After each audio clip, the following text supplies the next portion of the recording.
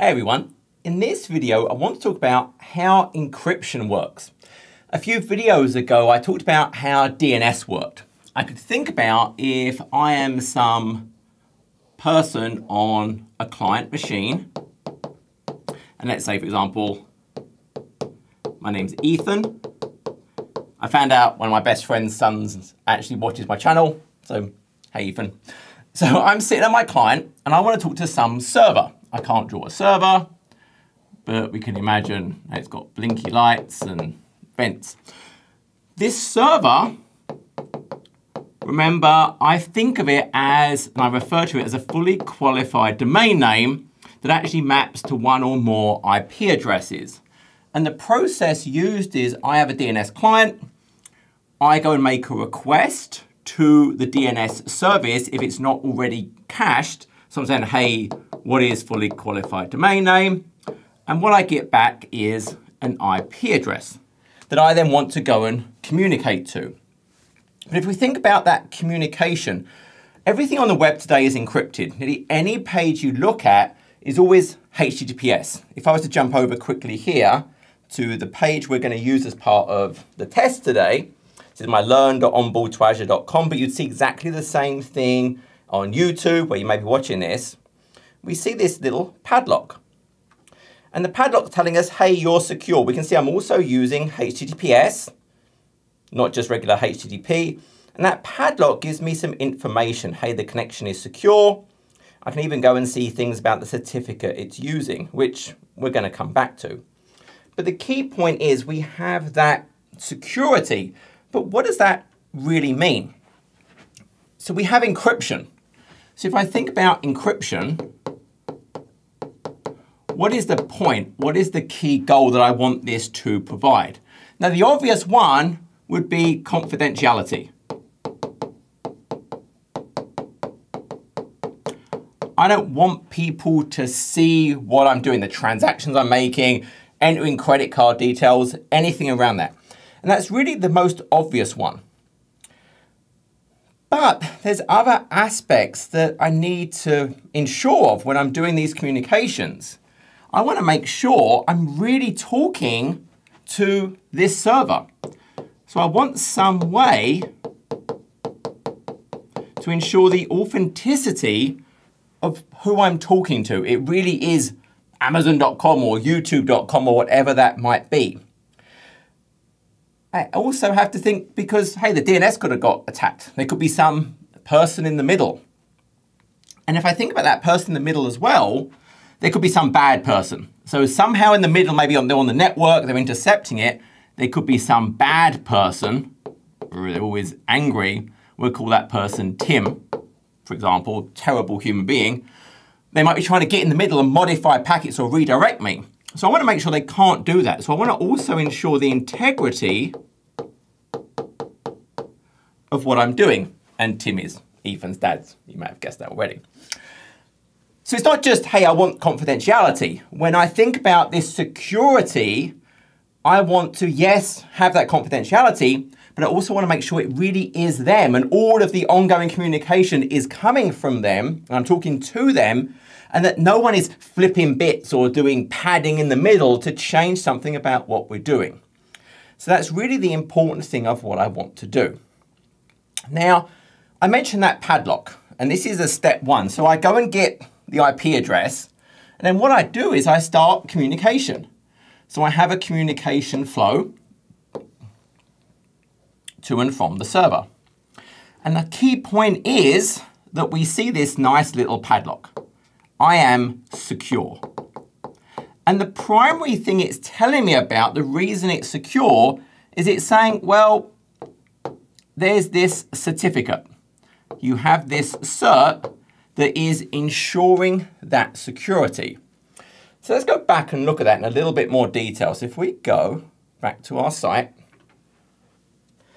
and we go back and look at our connection is secure, we can actually go and look at our certificate. We get basic information. We can see, hey, who it was issued by. So that's important as we're going to see later on. We can see a set of an expiry date, when it was issued. We see bits of information about it. We see a fingerprint of the certificate. But if we go to the details, we see some more interesting things that ultimately we are going to care about. What we'll see is this subject key info. I'm going to see the algorithm it's using. So RSA encryption is the key part here. And then I'll see the public key. And there's two parts here. Now I want you to remember this first bit, modulus. Modulus we've heard about in math all the time. It's the remainder after division. It's the bit that's left over. If I did 12 divided by 10, well then the modulus is 2. There's 2 left over. 10 goes into 12 one time, and there's 2 left over. So remember this modulus. That's really important. Everything we're going to do is around a modulus. But then also, we'll see if we scroll down, a public exponent. And it's nearly always going to be 0, 1, 0, 0, 0, 1. And we'll come back to that. So that's hexadecimal, so 0x. And that's something that we're going to use later on to take our value and hide it in such a way that only someone else with a special private version of that exponent will be able to decrypt it and get the original data back. So that's one part. Okay, that's security. But if we also look at our web page, so let's just right click, I can do inspect. And if I inspect, I can actually go and dig down into, let's go and look at all my elements, security. And once again, it's telling me, hey, look, you've got this certificate, RSA 4096 SHA-256, blah, blah, blah, blah, blah. Your connection is secure, and it's given me a whole bunch of things. TLS 1.2 ECDHE underscore RSA with P256 and AES256 GCM. And they're actually the bits that are doing the encryption. That's actually the part we really, really care about. So if we flip back here for a second, if we look at those parts, so if we break this down and we can see that, okay, what did we have? Well, it was saying TLS, and in this case, it, it told us it was TLS 1.2, but then it had ECDHE underscore RSA with P256 and then AES 256 GCM and SHA 384. And it's basically boiled down to all of this is known as our cipher suite. These various components will get used together to enable this encryption, but also this authenticity and the integrity. So we're gonna have all of those bits together to enable us to get that communication with what we want to do. And at a very high level, I can think of this first bit is how we're going to exchange a secret. We need a secret between us. Because when I think about communications, well, if I want to encrypt and decrypt, often the most efficient way of doing that is there's some secret we both know about. This is how we're going to share that secret over what is an insecure connection initially. I'm just over the internet. How do I share a secret? Well, that's how I'm going to share the secret. This is going to be how I'm actually going to encrypt the traffic once we have that shared secret. And then sometimes I need to create hashes. So a hash really summarizes a whole big body of data into a fixed size. But it's such that if any element of that changes, that hash will be completely different. And that's what the SHA-384 is going to do. So we're going to have all of those pieces together. Now what I now want to break down is this complete flow. So actually think about, okay, we have a client and we have a server, what actually happens? So to do this, and a bit of fun, what I'm actually going to do is we're going to open up Wireshark. So if I take Wireshark, what I did just ahead of time is I connected to that same learn to onboard to azure.com. And we can see the complete flow of packets. Now what you initially see is just TCP, and you see a SYN from the client to the server, a SYN-ACK from the server to the client, and then an ACK from the client to the server again. So three packets. So those three packets are setting up the initial TCP connection. So that's what we have to do first. We sit on top of TCP. So okay, TCP. I'm going to, try to make sure I'm lined up roughly right. So I'm going to send to the server a SYN. The server is going to send back a SYN ACK. And then I'm sending a final ACK. We have now established a TCP session. Now the whole point of a TCP is we have layers. And I can think about, well, there's TCP, which I've now established. And normally we just run HTTP on top of that. Hey, I've got my HTTP that I can send on top. But the problem is that would be unencrypted. Everyone could see that. So what I want to be able to do is on top of TCP, I'm going to have TLS, Transport Layer Security.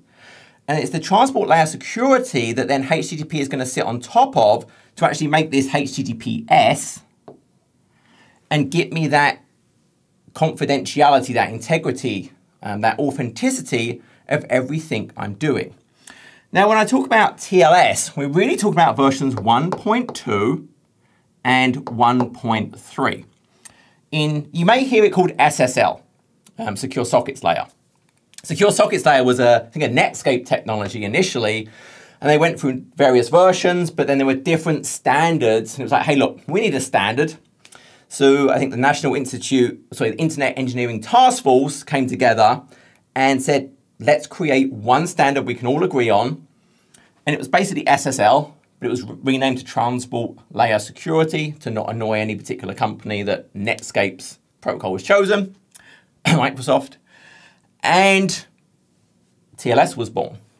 So if you hear SSL, there are various versions of SLL, SSL. You may hear TLS 1.1, all of those things. We are not using those anymore.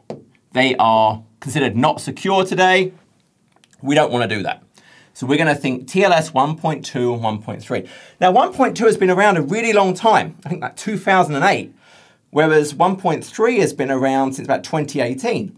So you may say, why are we seeing 1.2 so much?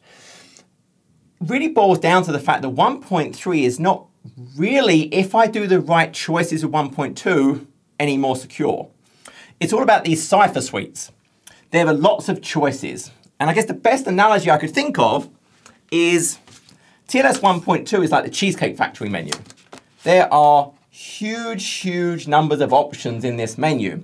Some of them are good, but there's lots of salads and things in here that I shouldn't eat. There's, there's, there's bad thing, I don't like salad.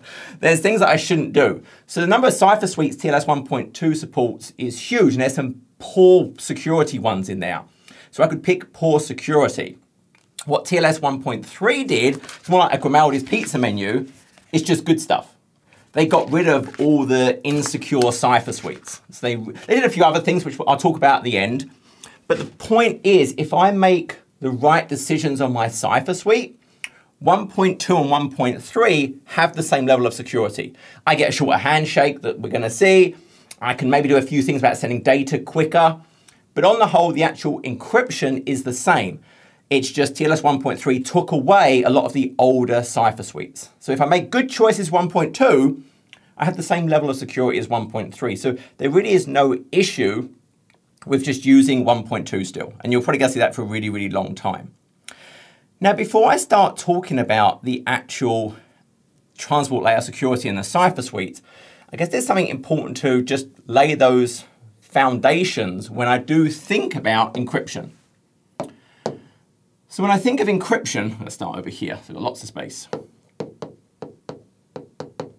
There are two types of encryption we, we think about. There's symmetric, and there's asymmetric.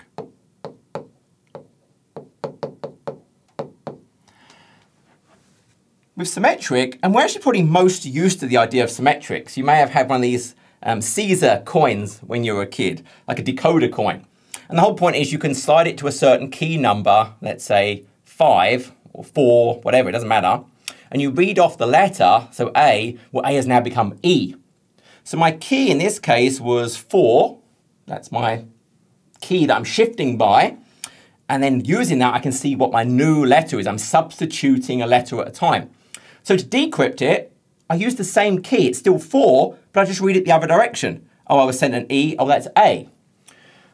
So with a symmetric, the point is we have some plain text. I run it through some encryption algorithm with a key K. That's going to give me my encrypted payload, whatever that is.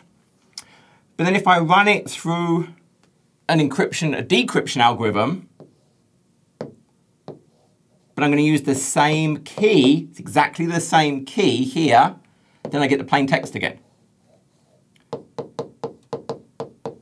So that's symmetric. And in this example, our key could just be, okay, I'm shifting down plus three or something. Obviously, I wouldn't have ended up with this. I'd have ended up with four characters shifted over, etc. You get the idea. But one of the important things to think about is if we take our Caesar coin for a second. Remember, our Caesar coin had all of the letters A, B, C, all the way through to Z. Then we had an inner wheel which also had all the letters, but as a little window where I can set the counter, for example. Well, it wouldn't have been there. Let's just draw this the right way. It has a little counter. Maybe I set it to here, and I set it to 2. So now A is here. B. So I've shifted a certain number. So in this case, what is my, I'm just spinning around. I'm adding two. Now the problem is if I add two all the time and there's only 26 letters, I might come out at 28. There is no letter 28. So what we've actually done here, this is something called modulus 26. Remember, modulus is just the remainder after division.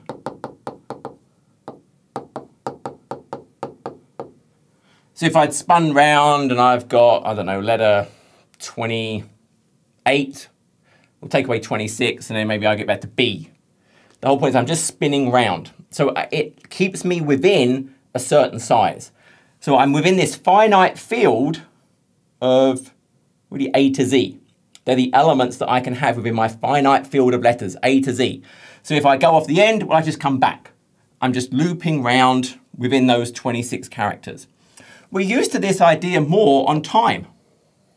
If you think of a clock, well, there's 12, 1, 2, 3, 4, 6, 9, it's 12 hours if I said it's one o'clock and I said add 12 hours, well, a clock is mod 12.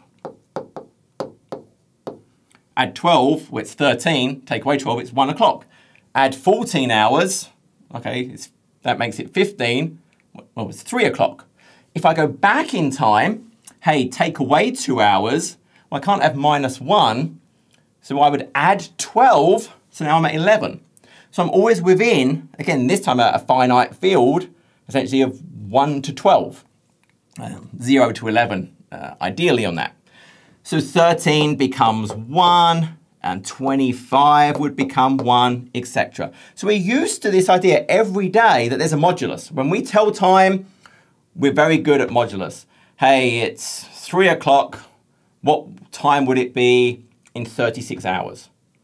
Well, I can do that, 12, 12, 12, it'd still be 3 o'clock.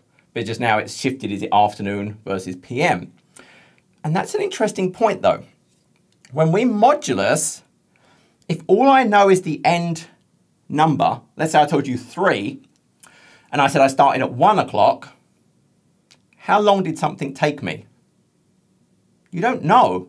It could have took me 2 hours, could have took me 14 hours could have took me 26 hours. You get the idea. I don't know how many times I spun around.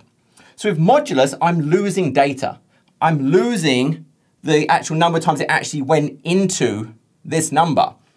So typically modulus is very useful for things like hashing and where I just need to keep something within a finite value.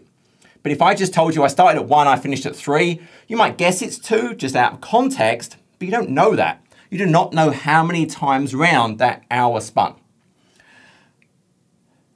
Okay, so we get the idea of the clock. We understand the whole point of that.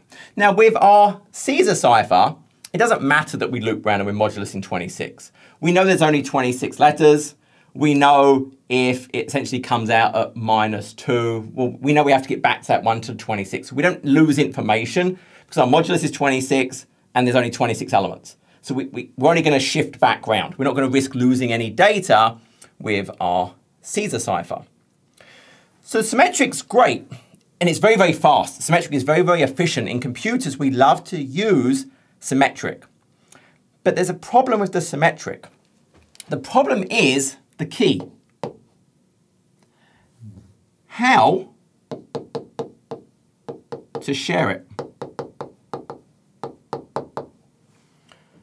At school, you may tell your friend, hey, let's use key five today, whatever that is. You, you had an out of band way to share the cipher you're going to use, to share the key. But on the internet, how would I do that? If there's no existing relationship, if I have no existing shared information, how can I just use symmetric from the outset? Because there's nothing shared between us. How can I securely share that key? We'll come back to that. So we have asymmetric. So asymmetric, there's two keys. I can really think about my first key, and then I can think about a second key. And we think about one of them, the key is public, and one of them, the key is private. And they're really the inverse of each other. I never, I'll do this in red, never share your private key. The whole fabric of the universe will start to unravel if you ever share your private key. But what this allows me to do is, if I take a message, hello, and if I encrypt it, so there's some encryption function, and I encrypt it with the public key. So now I'm going to go and get the, the garbled, whatever that is. The decryption, whatever the decryption function is, I have to use the private key. And then I get back to the original. I cannot use the public key again to decrypt. And this works vice versa. So I could also go the other direction. I could encrypt something with my private key, and then people with my public key could decrypt it. Now, if you think about that, I'm going to use this in two very, very different ways. Because remember, everyone, it's public. Everyone knows my public key. So if I wanted to send something securely, encrypting it with my private key is completely useless because everyone has my public key. But the way I could think about it is if I did want to send something, so if I wanted confidentiality, then absolutely I'll have my message and right, I'll encrypt it with the person who I'm sending it to private key. And then I'll send it. So this is going to give me confidentiality. Only they have the private key. Only they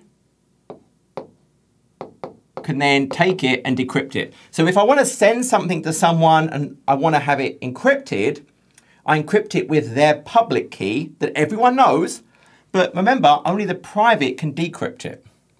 Whereas, maybe I want to send something, I've got a message, but what I actually want to do is I want to prove I sent the message the content of this, and it's not been tampered with along the way. So what I can do is I can generate a hash value which remember a hash summarizes, no matter how big this is, summarizes the content of that into a fixed size. And then, well, I'll encrypt this with my private key. the message is still plain text. I can still send that and everyone could read it. So now I'm sending this. But what does this does? This proves, excuse me, authenticity. Providing when the other end decrypts this with my public key that everyone has, generates the hash as well, and the hash value based on the message matches the one that was encrypted, well, I know also it's not been messed with. The integrity of that message is assured. And because they did encrypt this, it means they had the private key, which means they must be that person. So those things together, hey, prove that it really came from them and it proves no one messed with it. I'm just gonna move that out of the way so it doesn't get confusing. So this is how I can use symmetric. I can, yes, I can send things confidentially by encrypting it with their public key, and they can prove they really sent this and it's not been messed with by creating a hash, which is that summary of the data, and encrypting it with their private key and attaching it to the end and sending it. I can then work out the same hash of the message, because that algorithm will be public, decrypt this with the public key, and they match. So I now feel pretty good that really came from them. So these two concepts of the public and the private is really important because we're going to use both of these. This idea of having this capability to hey, have some key that's very efficient for encrypting and decrypting, but also the idea that there's another type of asymmetric encryption where it's two different keys. One of them is kept private and then one of them is public. And these keys are all built around very, very large prime numbers and a modulus, which is what you saw in that public certificate. You saw a modulus, and then you saw a public exponent that I'm going to raise to the power of that number.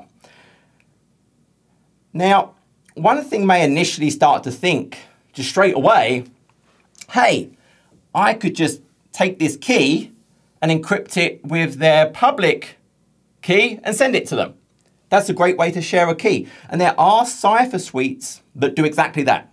Uh, RSA will take the client creates the secret, called a, a pre-master secret, encrypt it with the other one's public key, and send it to them. There's a problem with that. I don't have forward secrecy, and I'm going to come back and talk to that in a lot more detail. But this is the key point. These two types are going to be everything we do. So now we understand symmetric and asymmetric. Let's come back to our, we've done TCP.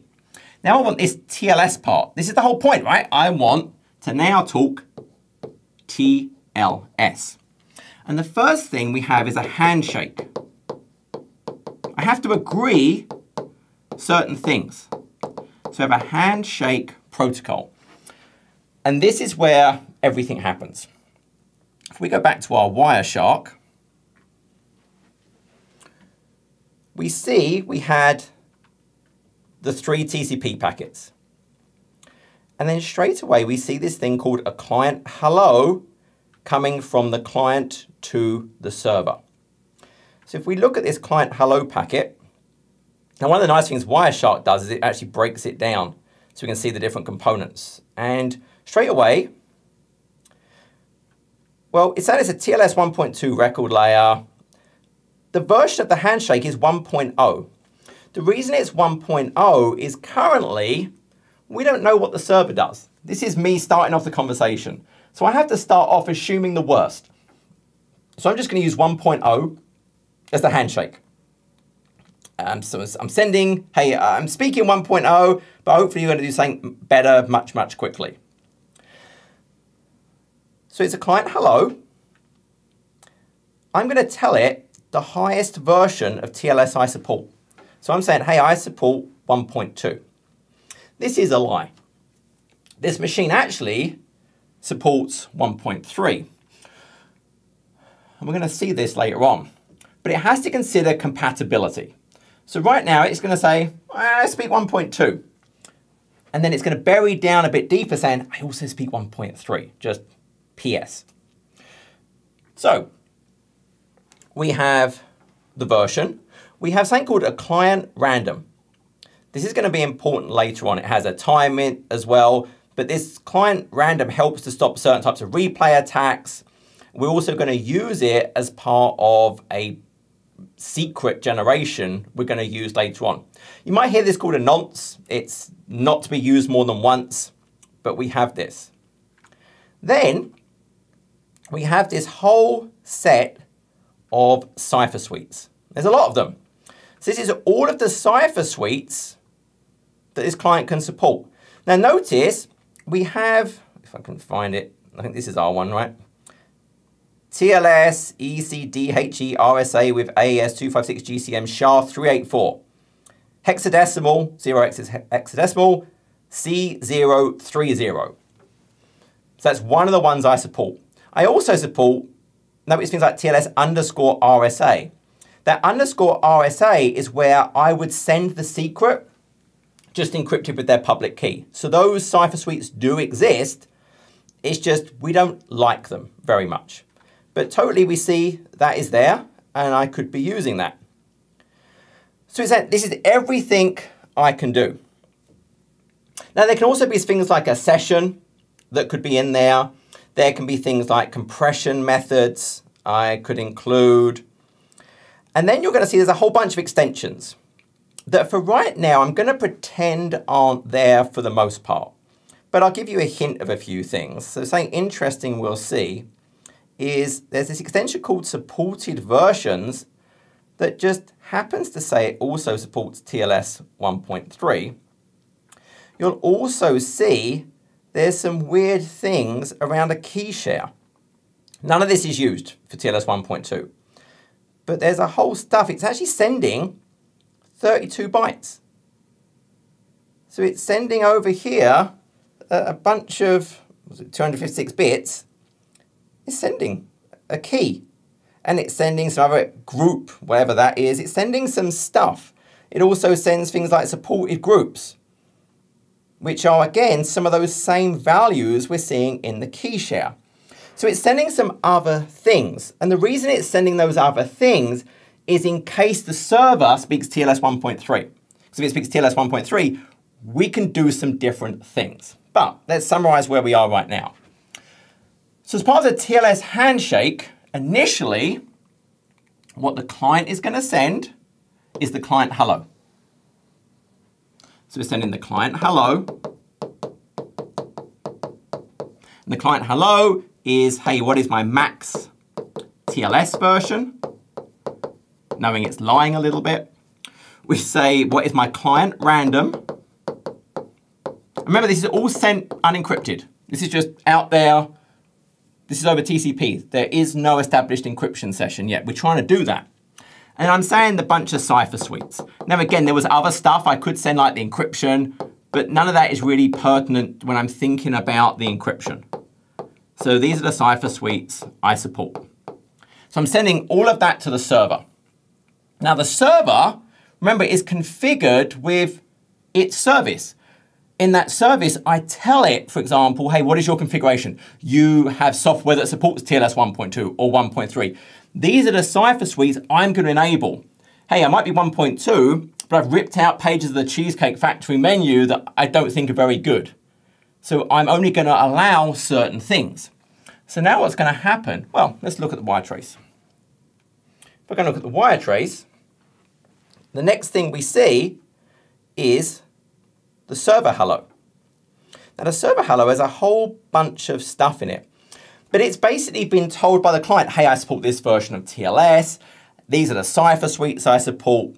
So the server is now going to say, this is what we're going to do. Notice its handshake version has bumped up to 1.2.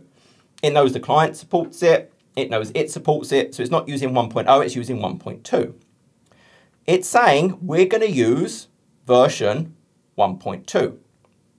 It generates a server random and it's telling them this is the cipher suite you are going to use.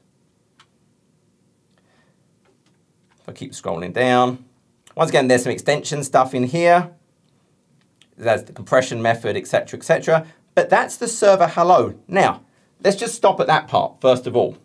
So if we go and look, we're now sending back to the client the server hello. In the server hello, it's telling it the final TLS version. It's telling it my server random, again to help protect against replay, but also that combined with this thing we're going to have called a pre-master secret is going to be used to create the master secret that then gets split off to create the actual symmetric encryption keys. And it's going to tell me the cipher suite that has been chosen. And this is matching what we saw in the browser. So remember, the, it's a big long string. I'll try and write it out, but I'm probably going to mess it up. So we saw TLS, elliptic curve, Diffie-Hellman, ephemeral with RSA, with, okay, I'm going to run out of space, um, AES 256 Galois counter mode. Wait, there should have been a hash uh, underscore. Underscore SHA 384. All of this, remember, this is our cipher suite. It does not send this great big long string. What it sent was hexadecimal C30. And we can see that in the wire trace. So if we look at the wire trace again, what we actually see it sent was, sure, it's showing us this pleasant thing on the left, but on the right, if you look at the actual bits it sent, it sent oh, C030. It's just that Wireshark is really nice to us and goes and looks these up for us. There is a list of all these. So these are all the TLS cipher suites. And this is a chart. These are all the different ones you could use. And if we keep scrolling down, we'll see, there we go, 30. And this is us. So Wireshark is just doing this for us. And there's the RFC, so I can go and look at details about all of these different elements if that's something I'm interested in. As I mentioned before, what are these parts doing? So remember, this, this is how I'm going to generate the shared key that I can then use for the symmetric encryption. This is how I'm actually going to use that key. So I'm going to use that key to actually do the encryption. And then this is how I'm going to do hashing when I need a hash. I'm going to use the SHA-384. So that's the key important part. This is how we're actually going to do the security. This big string, which was actually two bytes, that's going to map to that. But it sent other stuff as well. It also sent a certificate. Now it sent a bunch of stuff in the certificate. So if we look at the certificate, say I'm on the certificate part, it was sent in the same packet. It sent me two certificates. So the first certificate, I can look at it, but I can see in the name, I can see the certificate is actually for my learn.onboard to. I can see that's in there. But I can also see, hey, who issued this certificate. So that's who issued it. And then what I'll also see is there's a signature of this, which was signed by the person that issued it. Then I also include the certificate that signed this certificate. And there would be a whole chain of these certificates until eventually I get to one that was signed by a root certificate authority. So here, this DigiCert root, global root CA, this is a root certificate authority. So I have a chain of certificates here. And it's saying, hey, these are the certificates that I'm going to use. This is me. This is how I'm going to prove authenticity when we're talking. So now I'm sending certificate. So we have the server hello part. In the same packet, I'm also sending my certificate. Now remember, my certificate is, well, yes, there's my certificate. So this is me. This is my fully qualified domain name, or maybe it's a wildcard cert, whatever that is. This was signed by some intermediary CA. Basically, they're, they're someone who can sign other certificates. And this was actually signed, and again, there could be other levels. It's just a hierarchy, a bit like DNS in a way. This was signed by some root that is trusted. And we could see this chain when we look in the browser. So if I go to the browser, and we go back to my onboard to Azure, and I go back and look at the certificates, hey, I can view the certificate, I can see the details. It's showing me the chain. This is my cert, my cert was signed by this cert. We saw both of these certs in the packet. And then, hey, look, this is this root CA that signed this as well. So there's multiple certificates that are actually part of this chain. Now, what about that root certificate? How do we know to trust the root certificate? Well, if I run certificate manager, let's drag this over here so you can see. So this is me just looking at all the certificates on my machine. There's a trusted root certificate that's just built into it. Now on some devices, this might be part of the OS.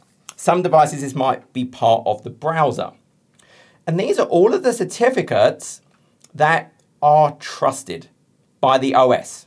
And here is that one, Digital Root, sorry, DigiCert Global Root CA. There's a whole other bunch of them. Notice how long these live. These are really, really long lived.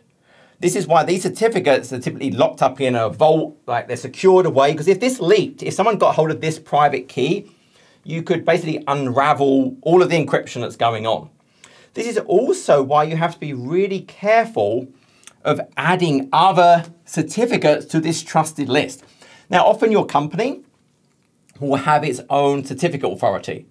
So when I talk about the, the list of certs over here, like your company probably has its own root CA, and they will add that certificate directly into your trusted root because they have to. Their internal PKI is not signed by some global authority, but they need you. They're going to issue device certs and other certificates that make your company work. So you're going to probably see that in your trusted root. But if you get some weird piece of software that says, hey, I want to install this certificate as a trusted root, why? Because realize as soon as someone is a trusted root, I could do very bad things. All of our communication is based on the fact that the authenticity of who I'm talking to is being proven by the fact that they have the private key for this certificate. And that private key was checked in a way, the certificate was verified by someone we trust. So these root certificate authorities are very, very highly trusted companies. And then the intermediaries, well, they have to prove to these roots that they can be trusted. They're going to do a thorough check when people ask them for a cert. So then when I go as my company and ask them for a cert, they're going to do checks to make sure I'm really SavillTech or onboard to Azure.com or Microsoft or Amazon or whoever that is. Their job is to only give out a certificate if they're sure you are. So it's a chain of trust, essentially, because we trust the roots. They do a good job checking the intermediaries that are worthy to give out certificates. The intermediaries do a really thorough job of making sure you really are who you say you are. If I have some weird thing stuck in the middle that's a trusted authority, if they manage to get in the middle of my network communications and can grab the packets, they could create a cert that says, oh yeah, I'm, I'm youtube.com or I'm google.com or I'm microsoft.com. Honest and they'll sign it themselves because they're in your trusted root. So when you go and look and say, oh, was this really signed? Yeah, it's by a trusted root authority. It was signed by a trusted root authority. You'll trust that cert. Now, the signer wouldn't be some normal, it'd be whatever this company name is. But the computer not knowing any difference. Unless some human went and looked, they're like, well, this is weird. Why is this cert being signed by this weird certificate authority over here? It's how TLS inspection works. If you have some piece of software that you want to be able to do a packet inspection of encrypted communications, I have to be able to issue those certs. Azure Firewall, if I turn on TLS inspection, it requires to be given a certificate that is trusted by the clients so it can generate certificates for all of the sites you may visit so we can get in the middle. It will generate its own cert for that target site. So your TLS session essentially ends with the, the monitoring system in the middle, Azure Firewall, then it creates a separate connection out so it can see unencrypted, it unencrypts it in between all of the traffic. That's how I can still monitor traffic. TLS inspection requires me to be able to create certificates for other sites. So I have to trust that. Long way of saying, be really careful of things that you add. So if I'm on my client machine over here, realize it has a set of trusted root CAs. Don't just go and add other things to that. That's generally going to be a very, very bad idea and opens you up to potential attacks. So it's including the certificate, which it would be able to validate by looking at the chain, checking all the signatures. And then also, what it does is we can see, remember we've agreed the cipher suite at this point, so then it also includes a server key exchange. So it's saying, hey, okay, Let's actually start to exchange some keys. That's going to let us do that symmetric key, that shared secret we're going to have.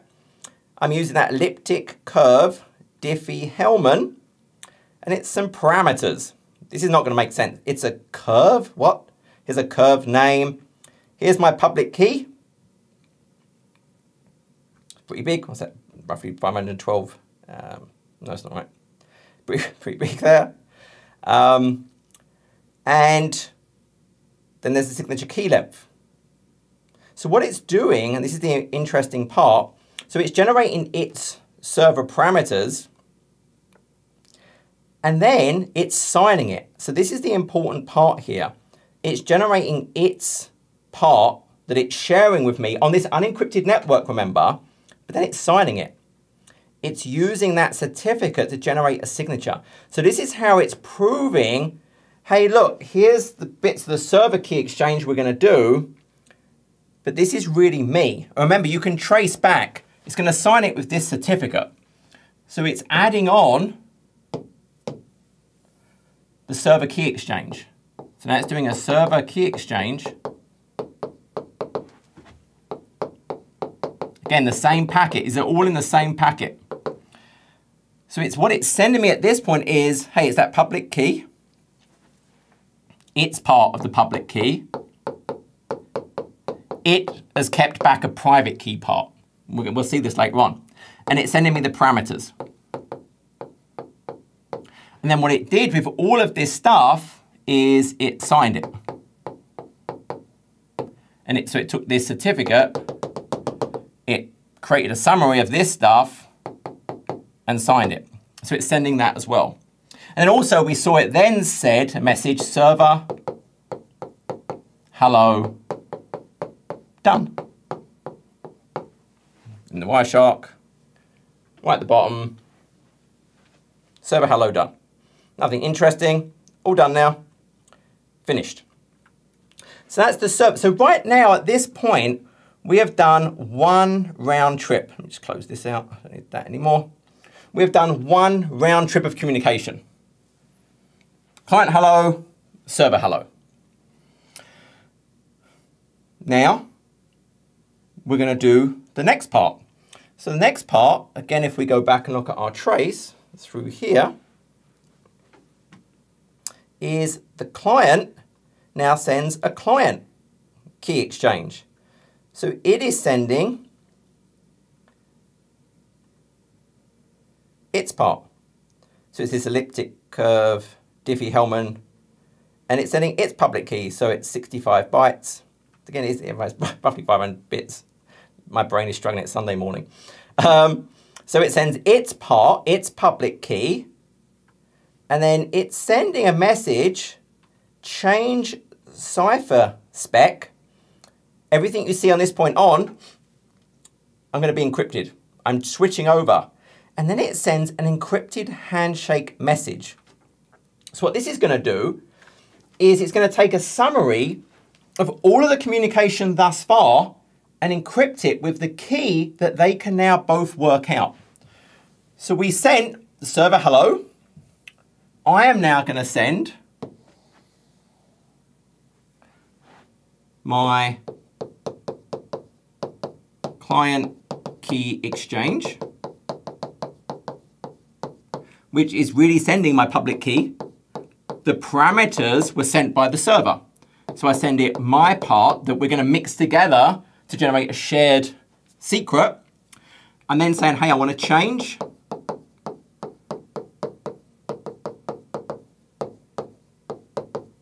I'm going to send it an encrypted handshake, a summary of everything we've done so far.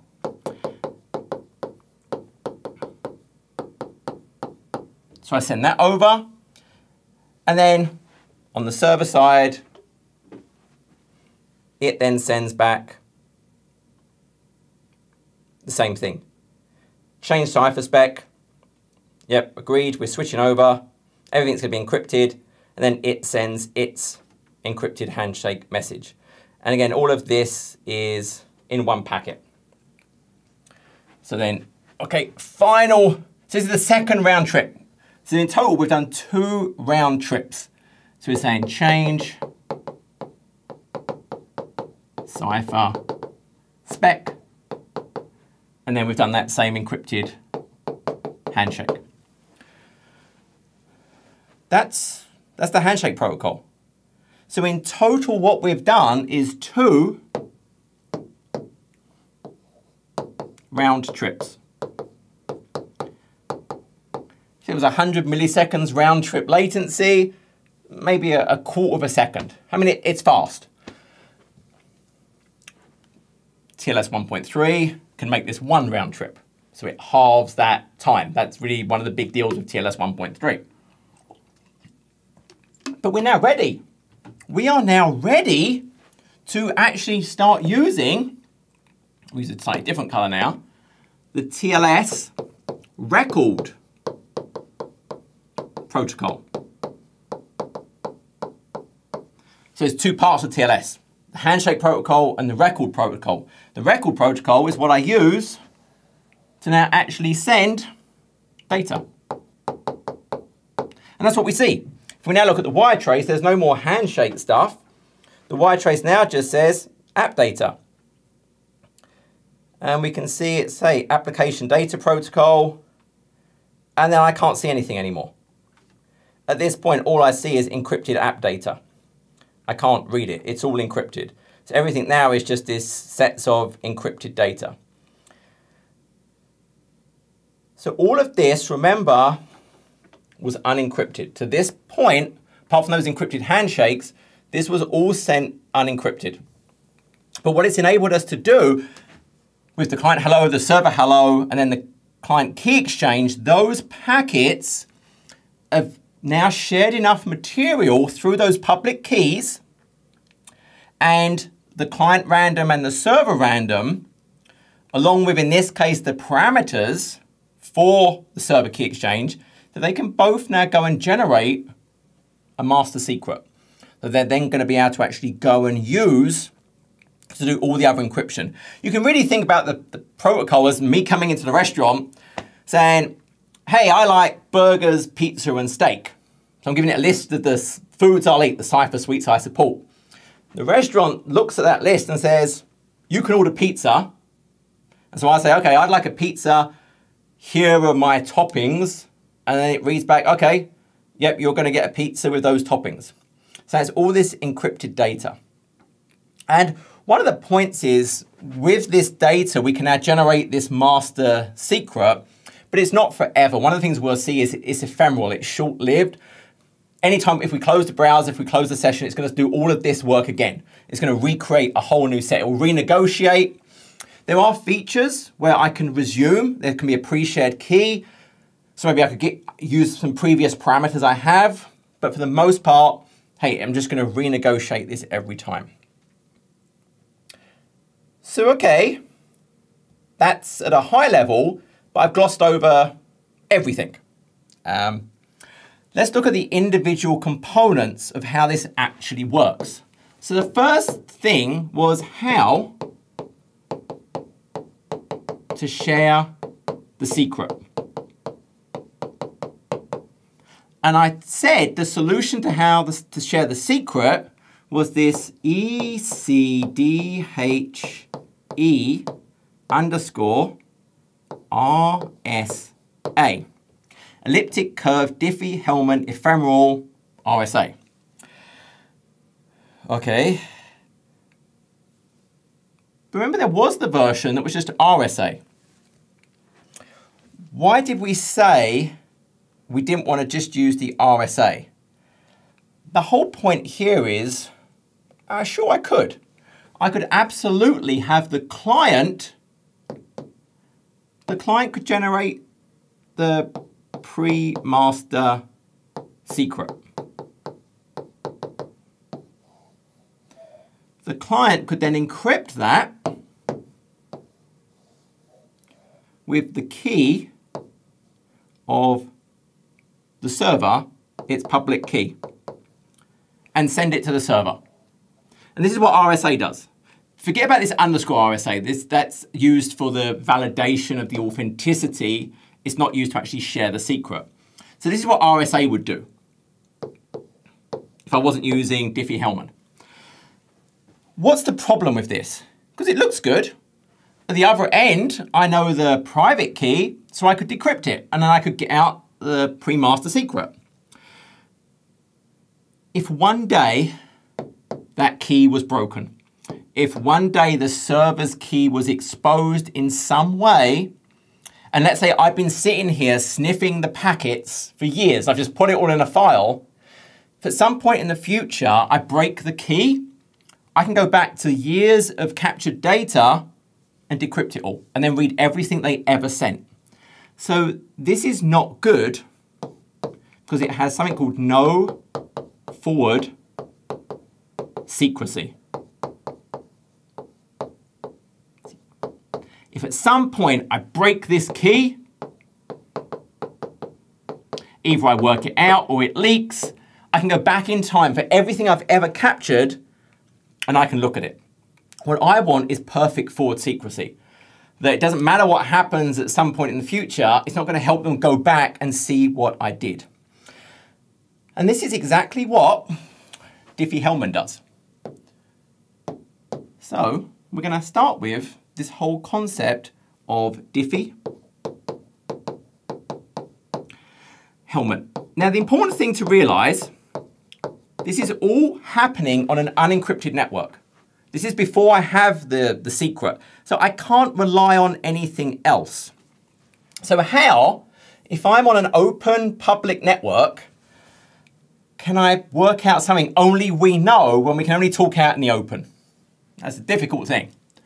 So we have the idea of, we'll say there's Ethan again, and then there's the server they're trying to talk to. Could be a person. These technologies I'm talking about for website, but this applies to many, many other types of things. It could be a peer-to-peer -peer type communication, could be my VPN and my IPsec. We use the same technologies. I'm gonna use a very silly analogy initially, but you'll get the idea. There's gonna be a public color. So actually, I'll draw this out as public. So there's stuff, the public, that's just out in the open because it's sent over the network. So it's public because someone could sniff the traffic. So I'm gonna have a shared color. Ethan is going to come up with a private color, and the server will come up with a private color. What they're each going to do now is take the public color and mix it. So what they'll do is they'll create a mix. Now obviously blue and yellow is going to give me a green. And this is basically going to be shared out in the public domain. Red and yellow would give me an orange. So this is all out in the public. Now, one of the things to understand with colors, it's a little bit dumb. Because if I was given orange and I knew yellow, I could work out red. I totally get that. But imagine this is more complicated colors and more complicated math. It's something called a trap door. And the, the idea of a trap door is I can go one way, I can't go the other. So all of this is trap door and it's built on one way. This way is very easy to go. To try and go the other way is very, very hard. And what we're going to see is this very, very hard is all going to be based around raising things to the power. And then very hard is trying to work out um, the log, the discrete log problem. It's very, very hard to go the other way. Point is, they're going to generate these shared colors and share them. And then privately, they can mix those colors. Now I don't have brown. It would be a weird brown color, but let's just pretend when you mix orange with blue, you get this color. When you mix green with the color, you're gonna get the same color.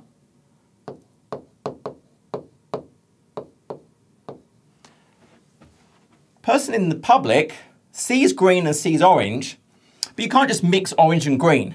You'd have too much yellow. It wouldn't be the same color. But these know their private color and they can mix it. So this is gonna work. They're gonna end up with the same color. So they have the same secret. That's, that's gonna work.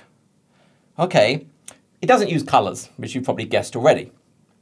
Um, but it works on the same principle, but it's based on math and how some things are easy to go if I know certain things in one direction, but it's nigh on impossible for computers that would take thousands of years to go the other way. So this is all going to work around some very, very large prime numbers. You're going to see prime numbers and modulus in everything we do. All of encryption is based around prime numbers and modulus. So what we're going to want is a generator. This is public. This is going to be sent over the public network. It's visible. And I'm going to have a modulus. Remember, this is the thing the, it's the remainder after division. This is going to be very, very large um, number, a super large number. And it's generated, um, for the, but it's going to be at large prime. Super large. And when we say very large, we normally talk about like 2048 bits plus. It's those sorts of numbers. And we're going to do the same thing again. But this time, instead of colors, so these numbers are out in the open. What's going to happen is I'm going to generate a secret C, and this will generate a secret S. All I'm going to do is this shared generator, I'm going to say G to the power of this mod, the prime. And I'll share that. Meanwhile, they're going to do G to the S mod, the prime, and they're going to send it to me. I then take the number that was sent to me and then raise it to mine. So I was now basically given G to the S mod P, and I'm going to raise it to C. They were given G to the C, they're going to raise it to S. These will be the same number. But the point is, although these were shared on the public, I can't reverse that. Knowing G and the prime and knowing what this the result is, I can't reverse that number. Mathematically, in the way computers work, I can't do that. This modular exponentiation is super difficult to try and undo. Like, that's why we pick very large key sizes. If I think about the the math of what we're doing, remember, I have the generator. Well, I know my private key. I'm raising it to my private key mod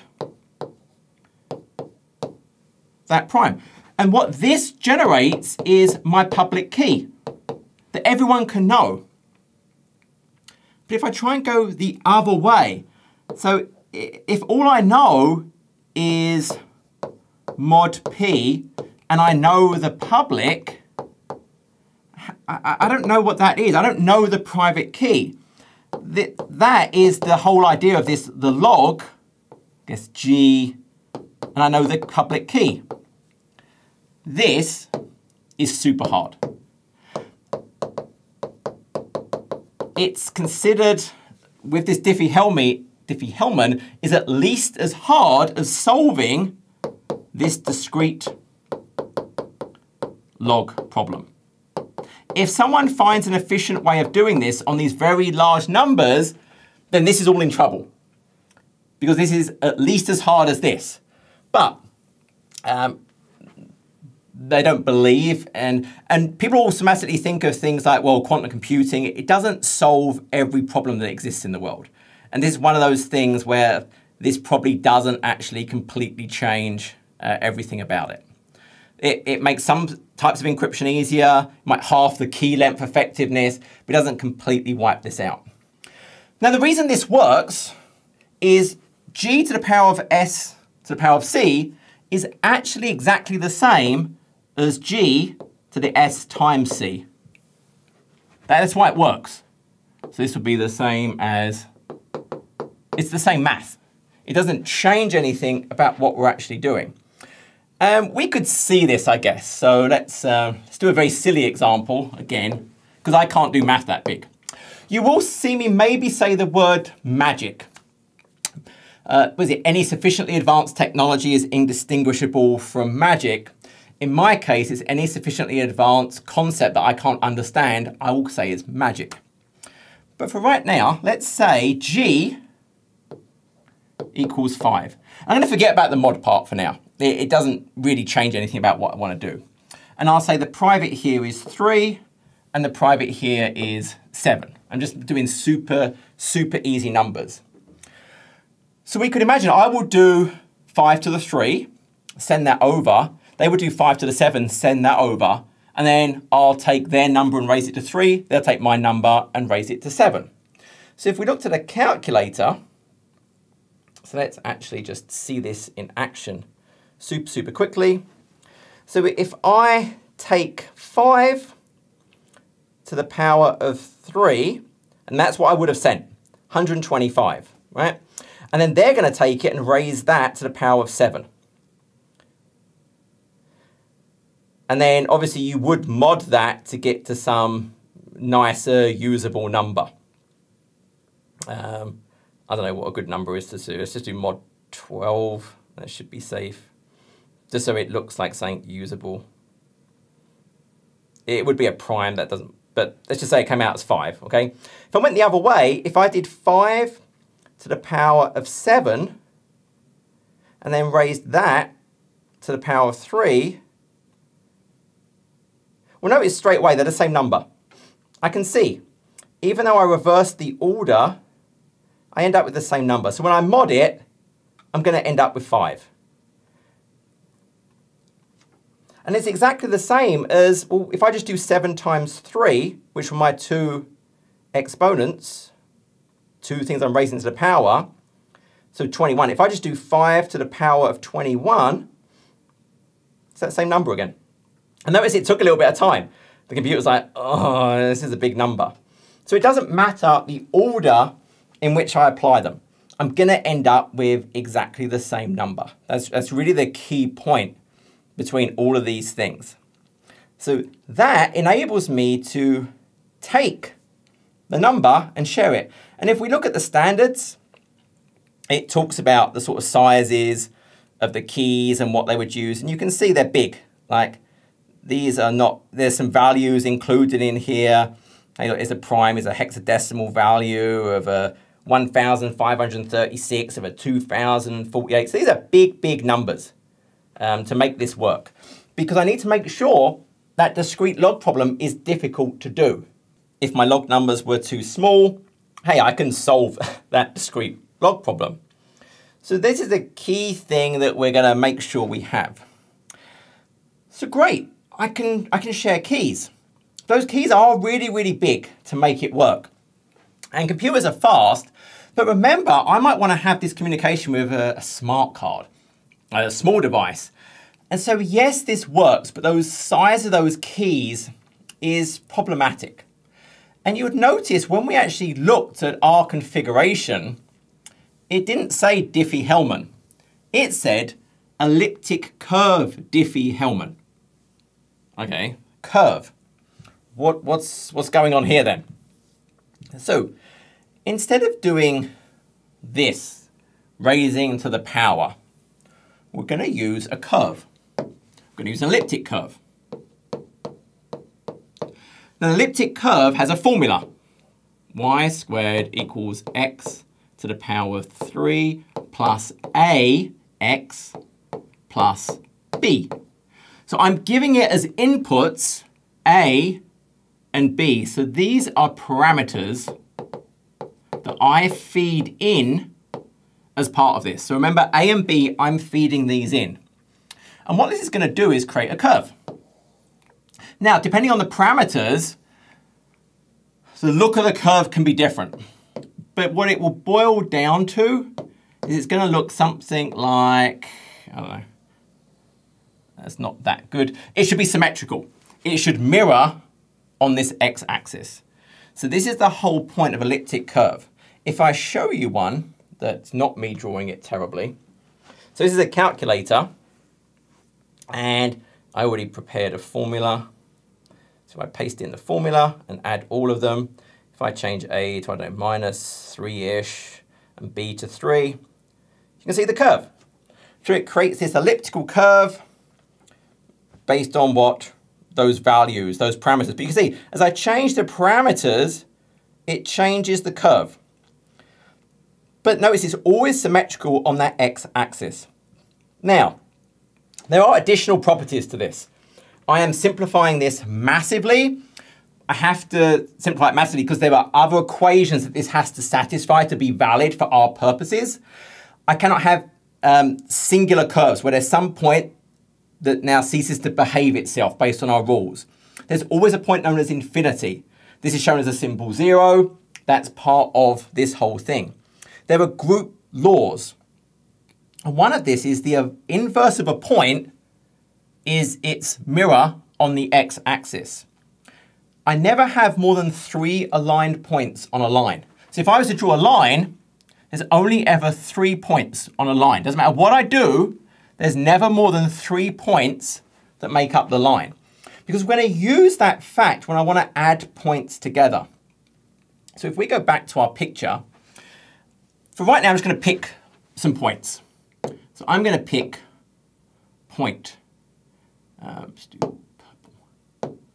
that's terrible color to pick when I'm trying to differentiate. We'll do point P.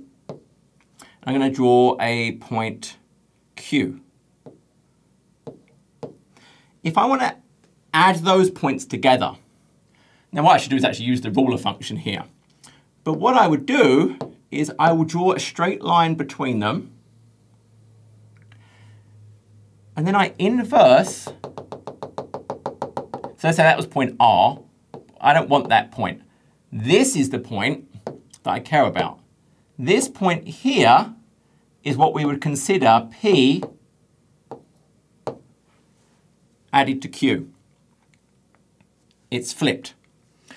If I then wanted to add, um, again, I, I'm always taking the intersection and I have to flip it. Now you might say, why am I, why do I have to do the flipping? There's certain rules.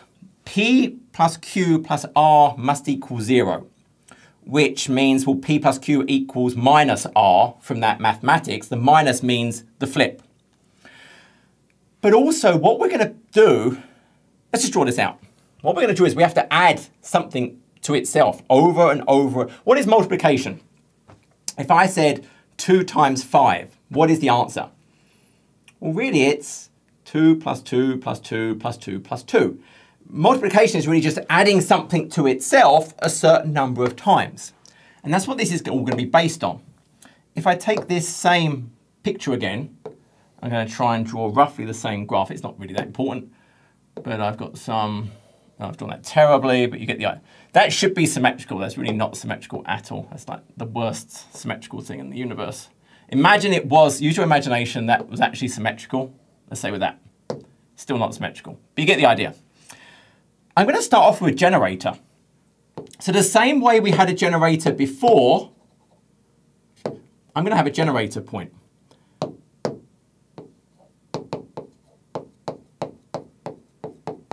Remember, when I used Diffie-Hellman, I had a generator that was public. Everyone could know about. I just had, generator was a color.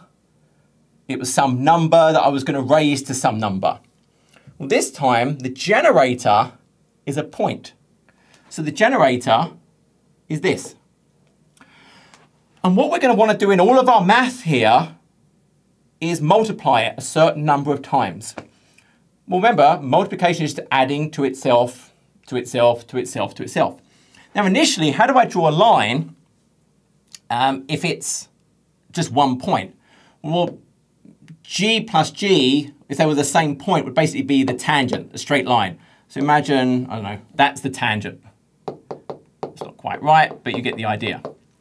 So g plus g, imagine that was actually going through the line, if I'd drawn it better. So the intersection was here, and then I flip it. So this would be 2g. g plus g, tangent, where does it intersect? Flip it, 2g. And where's 3g? Well, this time, because remember, this is the point I want to keep adding g. So that's a straight line. Oh, I've drawn that terribly but maybe that's the line. It should only ever intersect once. So yeah, actually, that, that works. So that's the intersect point, okay? And then I'm gonna go up, okay? That point is 3G. Where's 4G? You get the idea. 4G, okay, well that intercepts here, and then you flip it, that will be 4G and etc., etc., etc. Okay, well, where's this line? Well, 5G would be up here to flip, so 5G would be down here somewhere. And you can imagine as I'm adding, I'm just bouncing around this. This is what this is all based on. I'm now got this generator, and what the secrets are going to be is how many times I times G by some number. The client will times it by a certain number of times, the server will times it. But again, it's just addition.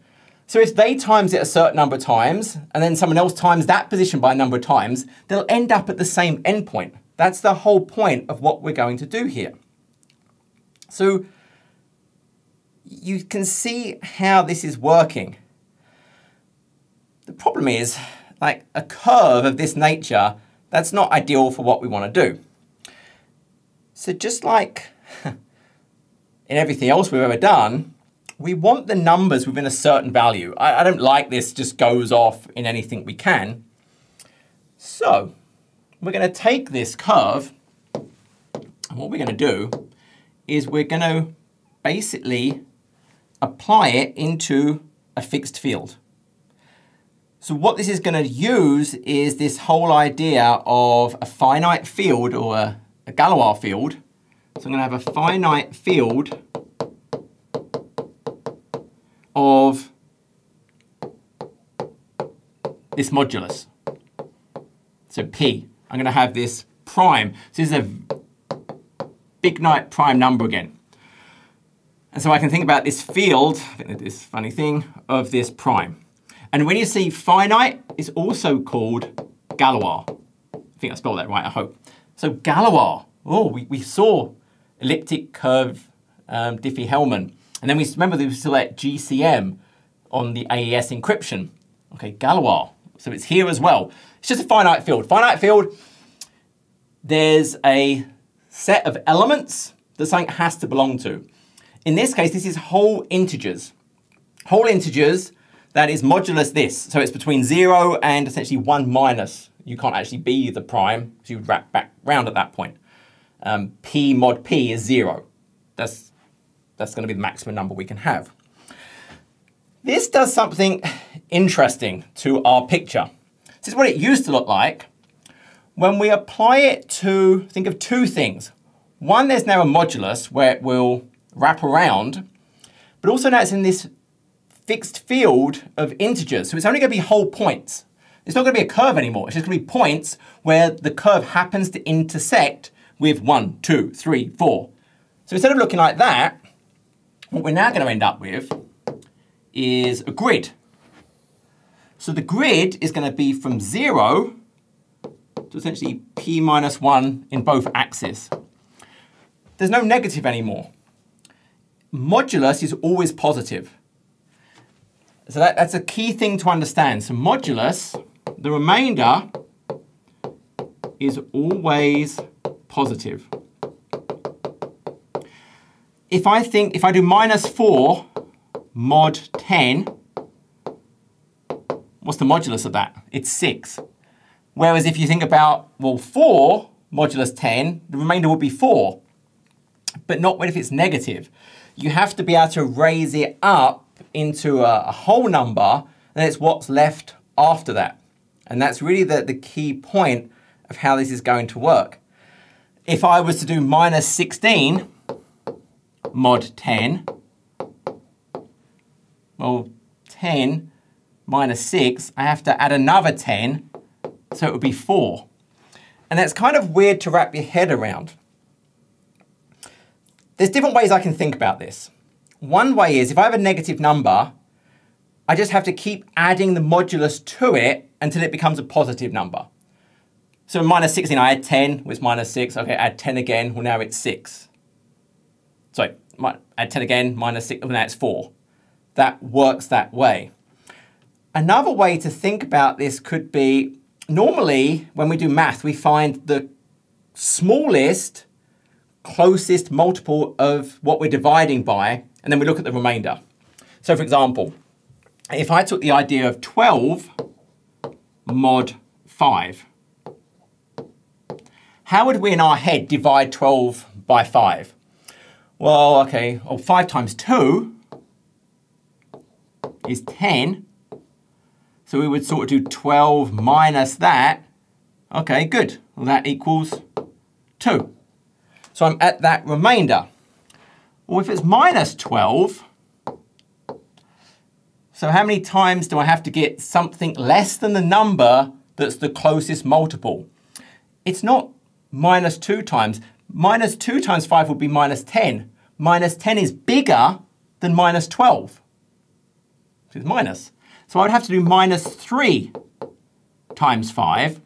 So that's minus 15. So minus 12 minus minus 15, well, that's minus 12 plus 15, is 3.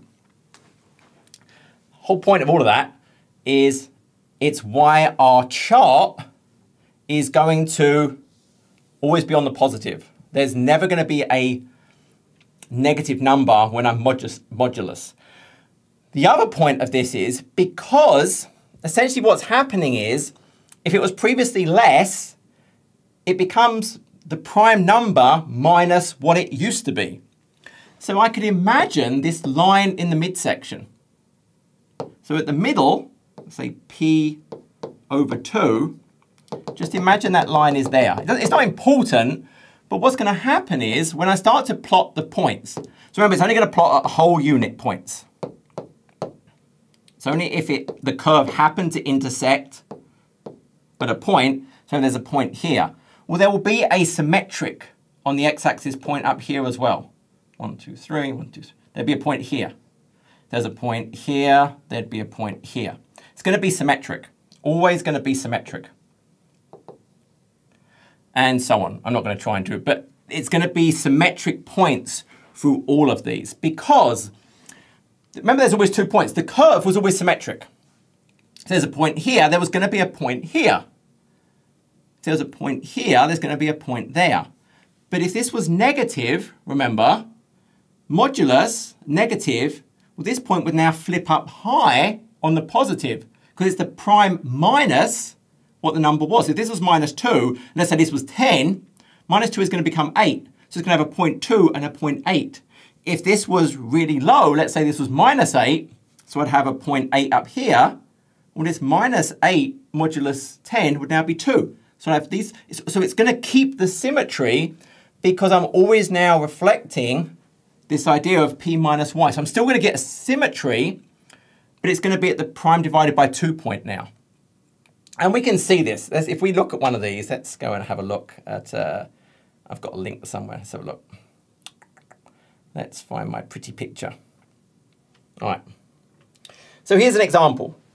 This is what elliptic curve over a finite field looks like. I'm going to change the numbers so it's a bit busier. Let's do 42, 32, 97.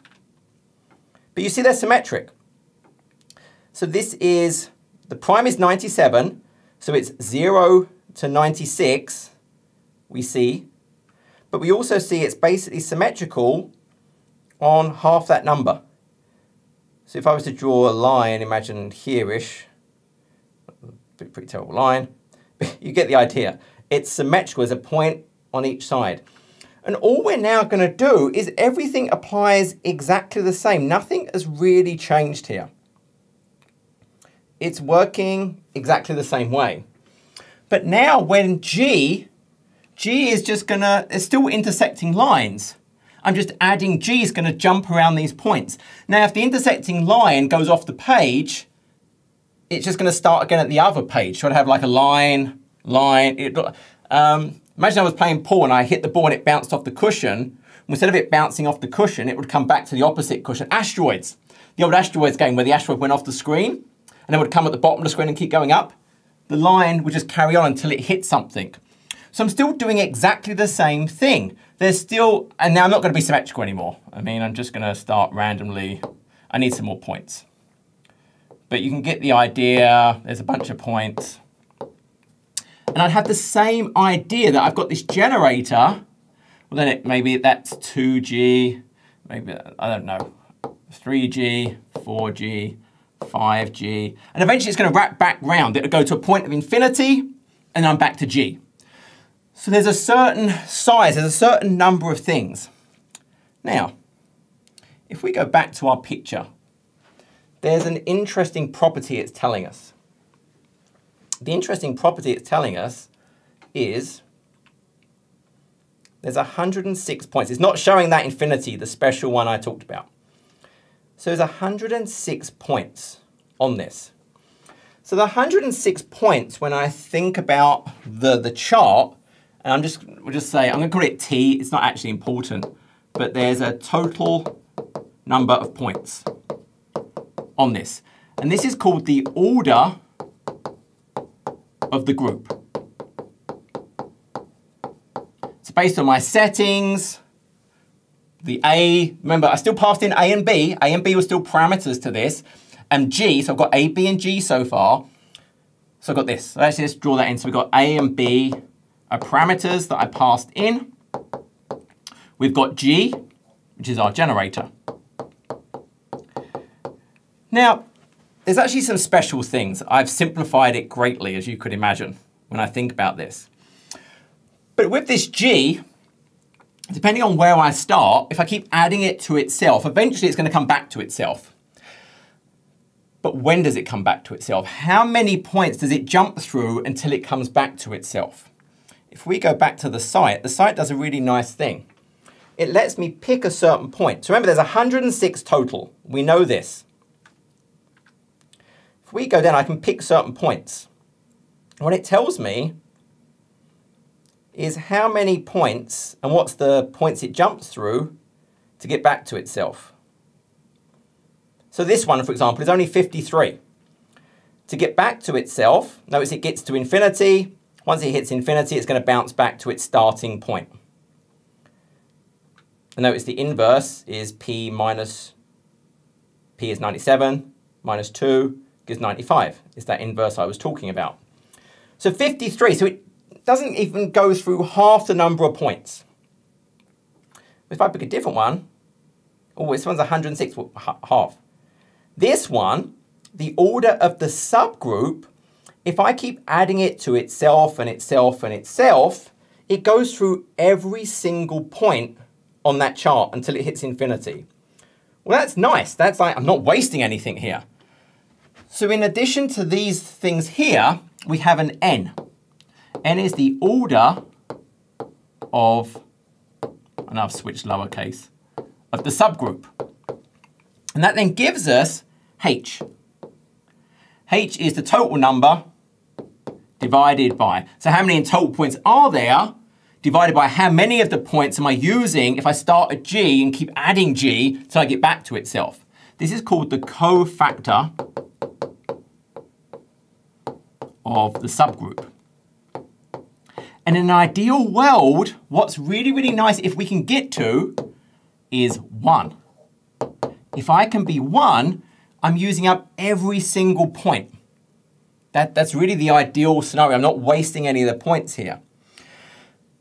Now, as you can imagine, um, this is not a, a, simple thing to come up with these. Remember, these have to be huge as well. That's, that's really the whole point of this. So if we went back to our wire trace for a second, and let's go and look at our server parameters again. So the server key exchange, where's my server key exchange? There we go. It told me I'm doing elliptic curve Diffie-Hellman. Yep, it's a named curve. So there are specific curves we use. And it told me which curve. And then it told me my public key. Well, that's nice. So if we actually go and look at that curve, so my curve in this case is, telling me what the, the curve is. My particular curve I'm using is SECP256, that's a 5, uh, R1, which is also known as NIST P-256, which we've seen. So this has very specific parameters for this curve. These are not just random made up G's and um, the A and the B and the prime. These are all set. So this particular curve, if we look, we can see here's the namings. So we can see different namings for the different curves. So here I can sort of see those different names um, defined as part of them over here. But if we actually look, this is an example of that curve, it's got the values.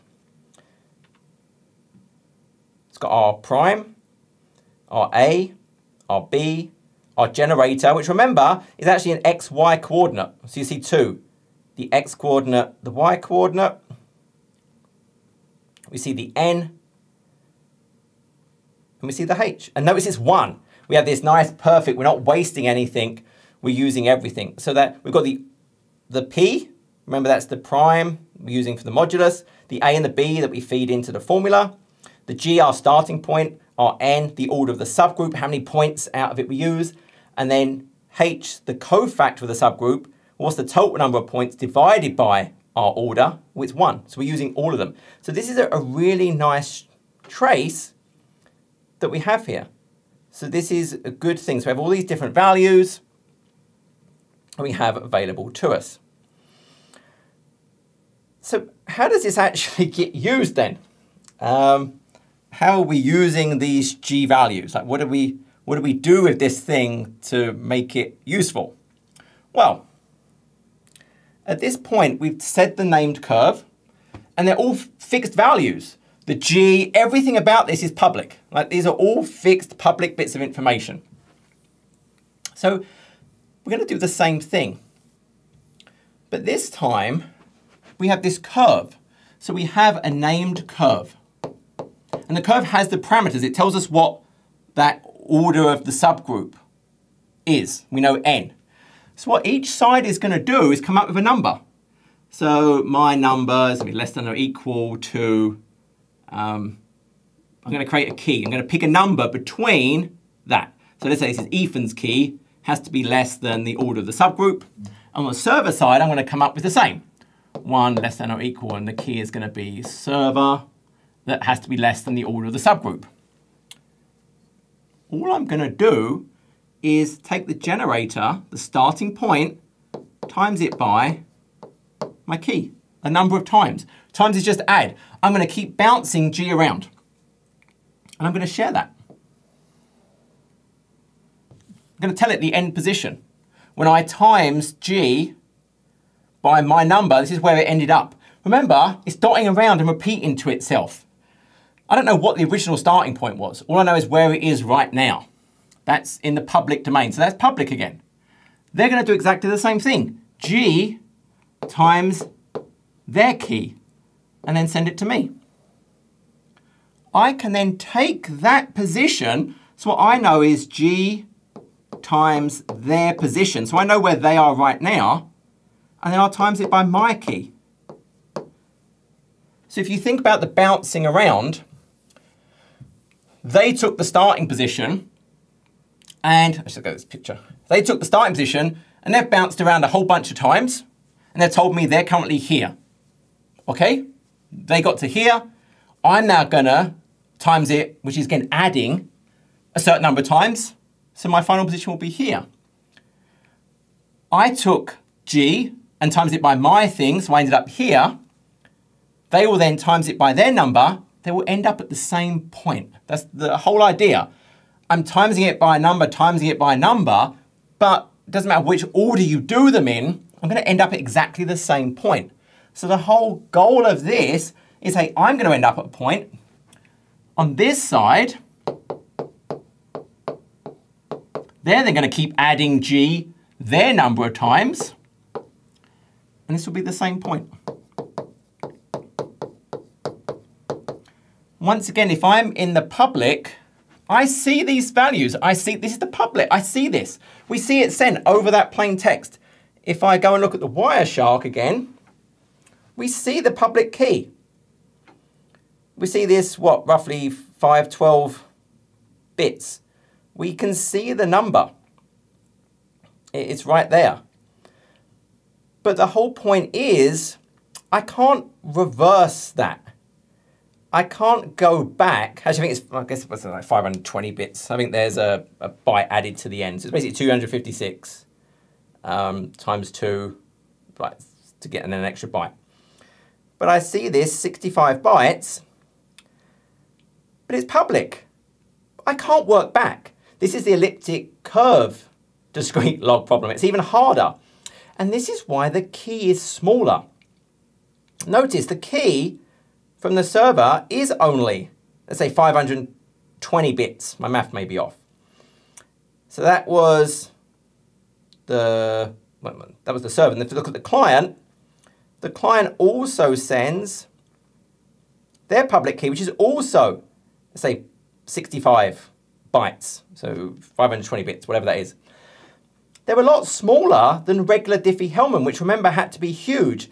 And it's because the discrete logarithm problem is actually easier than the elliptical curve discrete logarithm problem.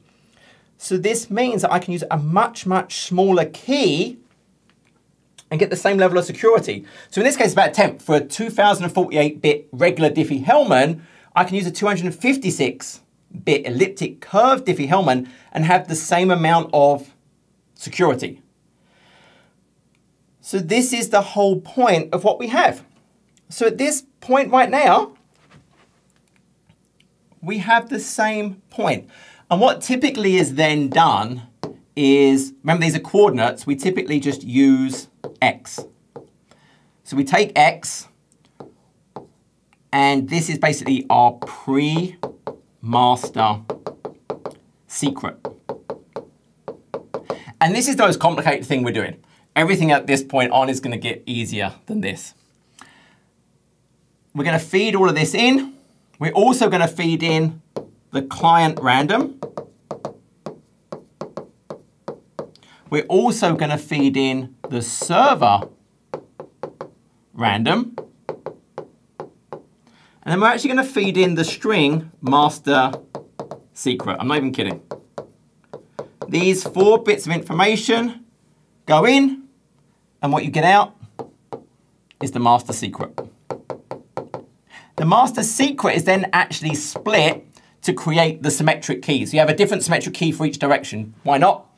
Better security. So it uses one symmetric key one way, a different symmetric key the other way. They both know both keys, but it just it uses a different key. Okay, and I mean that's that's the fundamental part of this. And the reason it's elliptic curve Diffie-Hellman, if I can find where we said it, so elliptic curve Diffie-Hellman E, the E just means uh, ephemeral.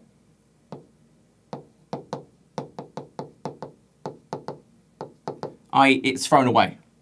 It's not a long-term key. It's used and then uses a different one next time. It's not any kind of long-term data um, that is leveraged. And that's, that's really it. Um, if we actually look for a second at the spec, and this is the point, there's a detailed spec for everything we're talking about here. But this is, there's that pre-master secret they've worked out. There's the literal string master secret.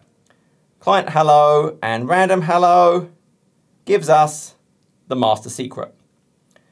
And then once again, it's going to take that and then split it up and do things to actually work out the two separate keys it will actually use for the encryption. Okay, so looking good. At this point, remember, we now have a, a key that we can use for symmetric encryption. There's one problem. Um, we're not protected against some person in the middle. So what we've done is on the public network, we have shared materials that even though the materials are public, only when we can combine our private parts do we get the final endpoint. That's great. But this communication is happening over this public network. And there's actually nothing in anything we've done as just part of this on its own that doesn't stop some bad person in the middle, this time a different terrible human being, we call them Sean, getting in the middle and maybe intercepting packets and changing it so I'm actually talking to Sean, and they're talking to Sean, and he's kind of man in the middle doing bad things. So I want to stop that. If we looked at the actual encryption we're using, it wasn't just elliptic curve Diffie-Hellman, it was elliptic curve Diffie-Hellman underscore RSA. with Rivest Shamir Adleman. So we're going to use the RSA to give us the authenticity to know we're really talking to the endpoint. So what I want to now do is, I'm, this is curve Diffie-Hellman, ephemeral is not changing. We're not changing anything about that flow. But what I want to be able to now do is have some element that I can encrypt as part of it to prove, hey, it really did come from this person. Remember, we have the certificate. We know we have the certificate, which we've tracked through that trusted chain. So we know there's a certificate. We know there's a private key the server has that I have the public key access to. So I know I can use that as part of, hey, some secure type communications. So my solution to this problem is going to be RSA.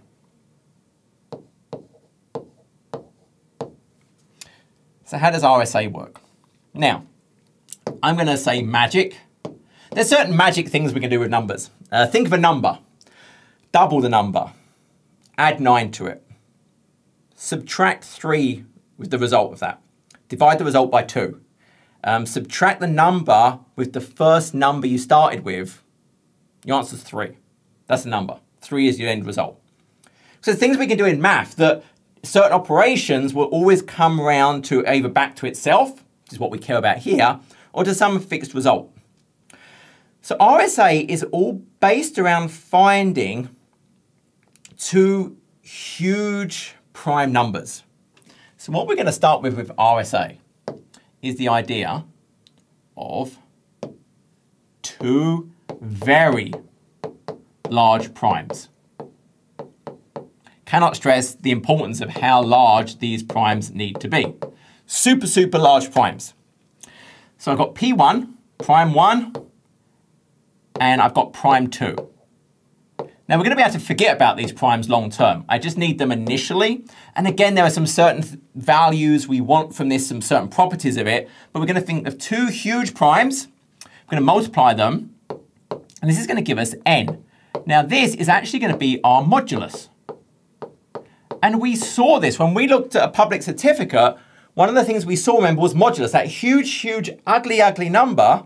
If we go back for a second, let's view our certificate again. We look at the details, and I go and look at the key, first remember it told us the algorithm, RSA, but then it said modulus, 2048 bits. It's really, really big. And it showed us the modulus, so it's not secret. And then it gave us a public exponent, 010001, because that's in hex. Okay, so it told us that number. So we know there's a huge modulus, and then this exponent is actually not that bad, but that, that's shared as well. And the reality is that exponent is nearly always going to be that value. It's just what's leveraged, and we'll, we'll see why. So we get a modulus. Now, what we then have to do is some other things with these huge primes we picked. I cannot work with very, very large primes. I'm going to work with very, very small primes. So imagine I picked 5 and 11. This is terrible, but that's going to give me a modulus of 55. 5 times 11 is 55. What I then have to do is I take P1 and subtract 1 from it, and P2 and subtract 1 from it. And I times them together. So this would give me 4 and 10 is 40. So this is really a temporary modulus we're going to use for something. Now, what I have to then pick, I have to pick a prime that cannot divide this number. Cannot divide into that number. So I pick something, and let's say I pick 17. So I'm going to pick 17, and that's going to be E. That's going to be one of the magic numbers we're going to have. What I then require for this to work is D. And I need it to be that D times E modulus this number and this is kind of a, temporary number, modulus that number, x, has to equal 1. That's my requirement. This is one of my magic numbers, my special numbers. This is that the number we saw, the public exponent part, because we're picking that. But now we have to work out this other d value. Um, and that's a, a lot trickier to actually go and do that. But for computers, it's actually not that hard. Um, for computers, there's actually a special algorithm, the extended Euclidean algorithm, that gives us that. I'm not going to work out the math for that, but basically the answer is 13. So the answer to this would be 13, sorry, not 13. The answer would be 33 for D times 17 mod 40 equals 1. And we can check that. So if we go back to our little calculator for a second, let's check our math is good there. So if we move this over, so I can't even see my numbers. Let's clear this for a second. So if I said 33 times 17 mod 40, nope, I did something wrong. Oh, I did 14. So Math is hard for me today. 33 times 17 mod 40 is 1. So it meets my requirements. And if you think about it logically, remember what we said before about exponents. If I raise something to the power and then raise it to the power again, it's really the same as just taking those two exponents times each other and raising something to the power. It's like I'm spinning round the clock my clock now is 40 and I get back to 1. So I'm going to be able to do something with this number, raise something to this number, that if I then raise it again to this number, this D, it's going to get back around the clock to 1, i.e. I'm going to times it by 1, is back on itself. So I would have undone what I did. And that's really the, the key point of all of this. I've now got my two numbers. So I know D, this is what I'll keep private. I know E that's public and the modulus, this, this 55. Again, there'd be much, much larger numbers, but this is the whole point of RSA. So what we have is the idea that I will keep super private, D is private. N, the modulus, and E is public. That's the public exponent. So if someone wants to send something to me, well, the ciphertext is going to be equal to the plain text raised to the power of E mod N.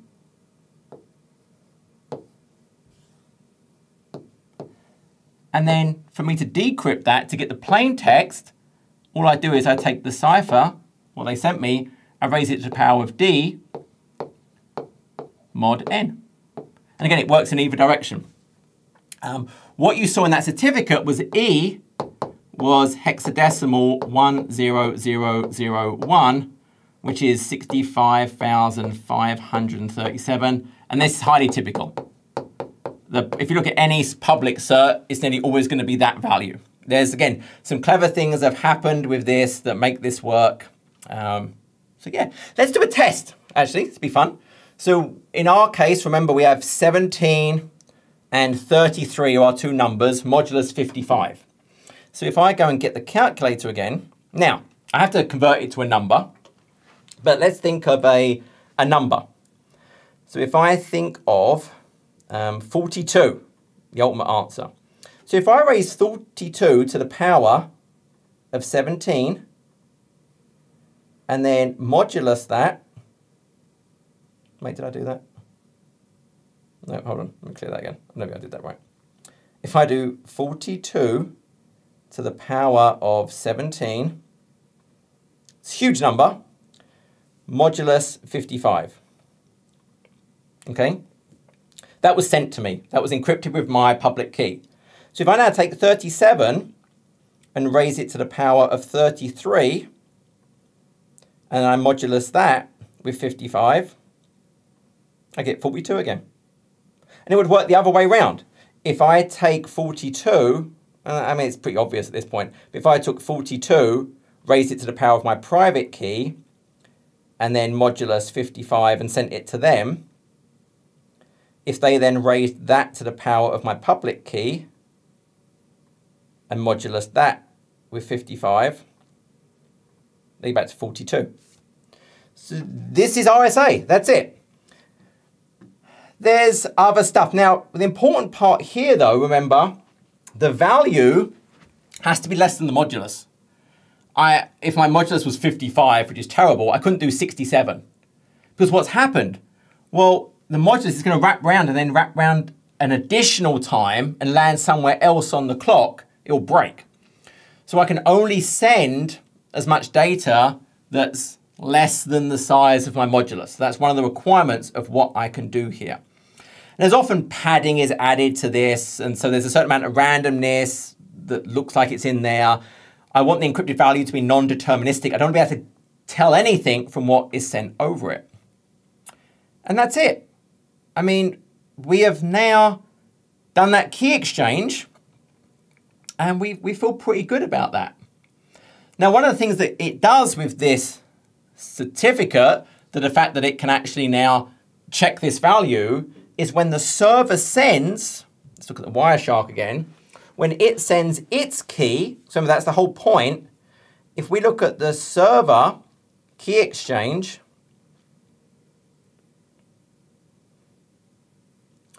It sent its public key, absolutely. But it then sent it with a signature. So it generated a signature that summarizes that data that the other client receiving it could now validate and say, oh, that really is them. Uh, I feel good about that. There's not some bad thing has gone and changed it and I'm not really speaking. So I guess we should talk about that as well. Um, I'm saying, hey, what actually happens is that as part of this key exchange, what actually, when I sent this part here, I'm actually adding a hash to it. So the reality is really there's this hash is really added onto that that is encrypted with the private key. That's, that's what's going on so that I, I did the wrong one, didn't I? I'm an idiot. No, I'm not. That's the right one. It's just that I should shift it over a bit. I add that on the end of this so that they can validate it. Now, I'm not going to go into a huge amount of things about the hashing um, because a lot of the operations, we do the same with the encrypted data. So I'm going to go over it pretty quick. But at a very high level, the whole, when I hash, when I create a hash, the whole point of what I'm going to get is, well, I know it was SHA 384. And 384 is just the size of the hash value. So it's going to give me a fixed size. No matter what size data I put into it, I'm going to get that. There's also uh, SHA-256, which will give me a 256-bit value. We saw that in the key exchange as some other things it was doing as well. Now, the whole point of a hash is it should summarize the data that it's creating the hash of, but there's some very specific requirements that we have. It should be, should I do it green, these things I want. I want it to be deterministic. Same message data in should always give me the same hash value. It needs to be not too hard, not too easy. if it's too hard to generate the hash and it takes forever, it's not practical, especially when I have smaller form factor devices. If it's a server with lots of connections, it doesn't want to spend huge amounts of CPU doing this. But it doesn't mean too easy. If it's too easy, I could try and find something that matches a hash value with different content. It should appear random. There shouldn't be anything from the hash that gives me some insight into what's in the original content, the original text. I want something called the avalanche effect. What this means is if I change a single bit, one bit, the hash is completely different. It's not just the hash is a little bit different, it would be completely different. And I want to avoid hash collisions.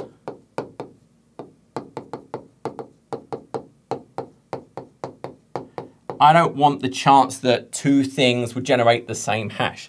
And I can show this whole idea of, there's a nice little site. This generates the SHA. This is 256. I mean, I can do different things down here. If I put in the input, onboard to azure.com. This is my hash value down the bottom. If I change just M to N, one character,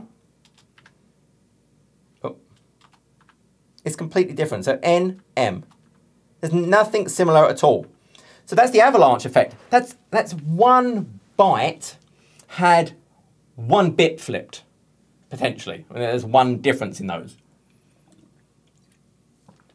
Avalanche effect, completely different.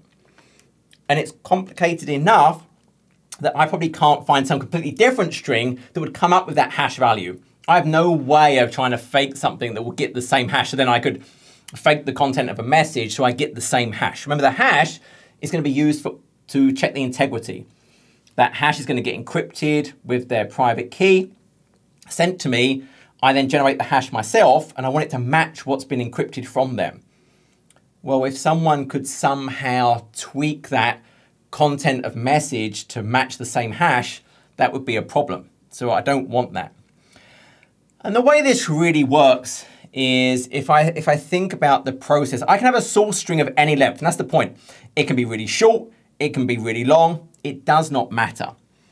But the data coming in is going to get broken down into chunks of 1024 bits. I mean, it actually then puts it into 64 words. There's a whole bunch of stuff it does. But what the SHA is actually going to do is the whole point of this is it has this internal state.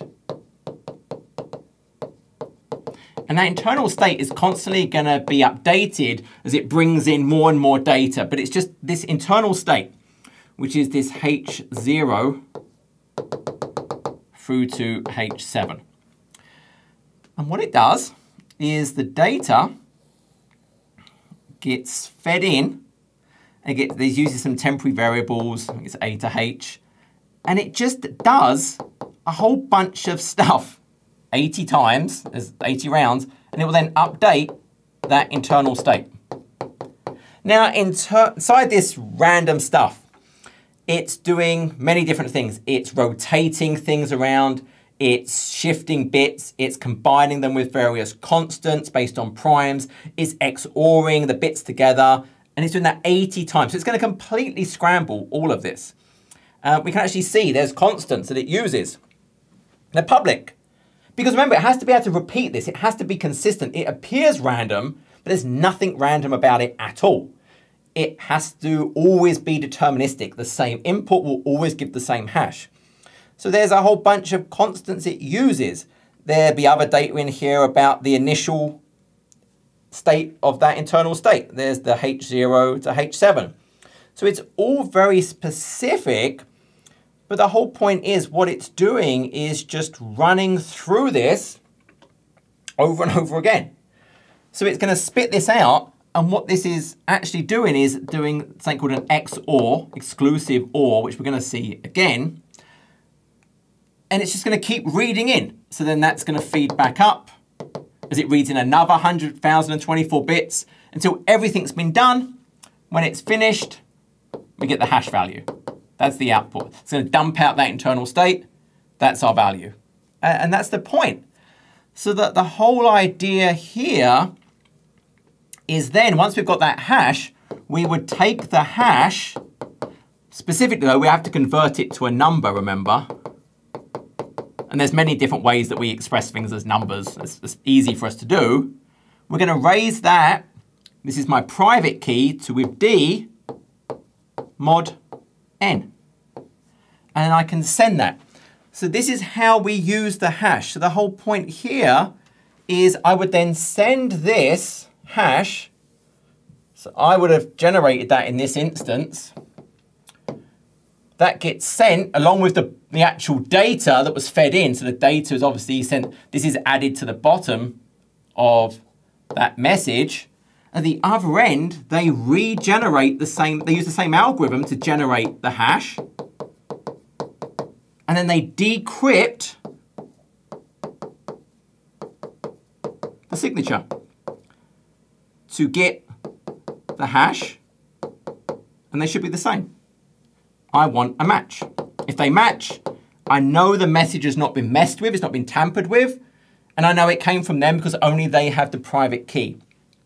So all of that, that's the whole point of everything we're doing. That's everything I want to do. So all of this, where are we? There's, my picture. All of this so far, we've got to this point, what do we have? And I'm sure I've gone off center, but that is what it is. What we have at this point, we have a shared secret that we trust. We have a shared secret so we are super happy. Yay. Very, very happy. So we got this, remember, through the elliptic curve, Diffie, Hellman, ephemeral, authentication, integrity, RSA. Okay, now I need to actually encrypt some. I'm not actually encrypted anything yet. So now what I need to do is take that key and use it to actually encrypt. And this actually gets easier. So my encryption, this is where I do the AES 256 Galois counter mode. And when we look at this, the component really is advanced encryption standard. The advanced encryption standard actually came from a competition. So there was a call for, we need a new type of encryption. So this was originally created by uh, Rijndael. Rijndael. They won the competition. It was then renamed to the Advanced Encryption Standard because it won. This here is the key length. There are a whole bunch of parameters that the encryption winner had to meet to, again, about how hard is it computationally, um, how secure is it. So have different key lengths. So I can have 128, 192, and 256. And where these get important is there's a certain number of rounds. We saw those rounds with the hashing. We have a certain number of rounds with this as well. So I have 10 rounds, 12 rounds, and 14 rounds. Remember we have a shared key now. This is the cornerstone of everything we're going to do because this is going to be symmetric. This is a block cipher currently. It's going to encrypt one block at a time. It's based on something called an SP network. An SP network is substitution, that's the S, switching things for other things. The P is permutations, moving stuff around. what we're going to think is we're going to read in uh, 128 bits at a time. No matter which key length we use, it's still 128 bits. Now remember, what we have is that shared secret. Now that shared secret member was used to create multiple symmetric keys. So I'm going to have my key that I'm using. What we actually do is we have to break it into other multiple keys. So I can use a different key for different rounds of what I'm going to do. So we have something called a key scheduler. And it's going to create a number of keys based on how many rounds. So in my case, it's going to create round 0 through to round 14. So yes, it's 15 keys in total because there's an initial key and then it has one for each of the rounds. So it's going to have an encryption function. Think about this um, set of things that it's going to do. It's going to repeat those set of things a certain number of times. That's everything we have. So I have my data that I want to encrypt. And that data is going to be read in 128 bits. So 16 bytes. Now the way it's going to work is it brings it into, because it's 16 bytes, 16 bytes is perfect for a 4 by 4 grid.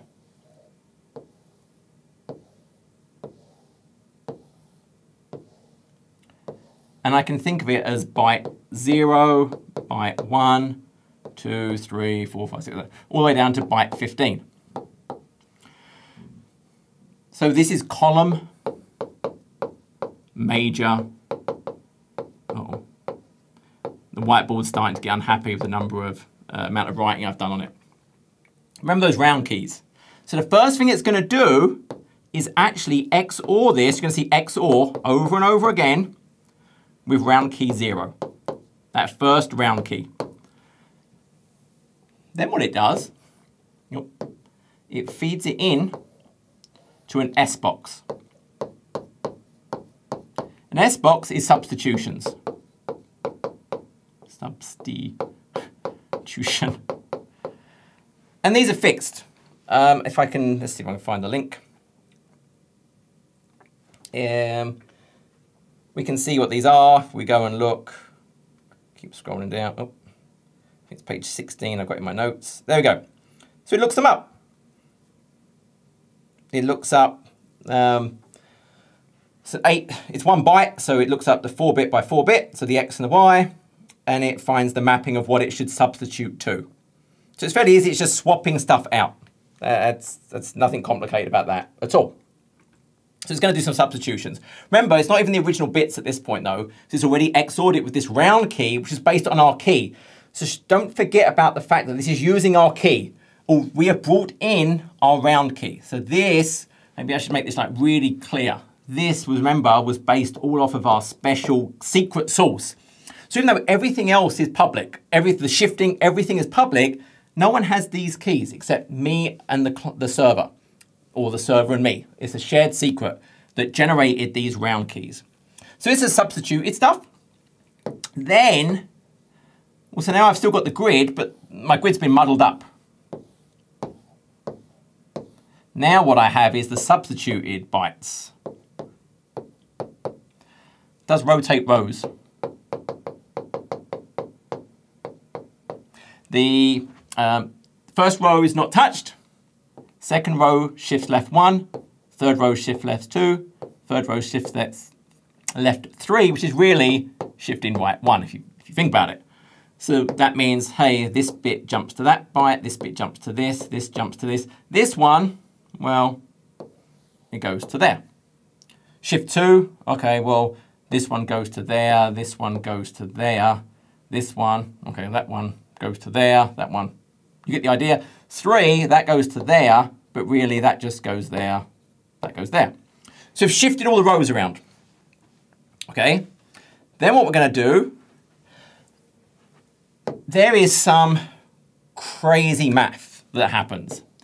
There is now a column matrix multiplication. This matrix multiplication happens in this Galois field of 2 to the 8 all again to make sure as I start multiplying, normally things would go outside of that range. I have to keep it within that range. So the Galois field is used to keep it. So I can do plus and minus and times and divide. It will keep it. It won't overflow. It won't underflow. It's going to keep it in this specific size. That's the whole point of what I want in here. I'm just going to do this whole set of things. This is now going to jumble up at the column level. So everything's getting scattered within the individual column. And then whichever round this is, then round key, whatever it is, is XORed in with that output. So all of this, all of this part, remember, was the permutation.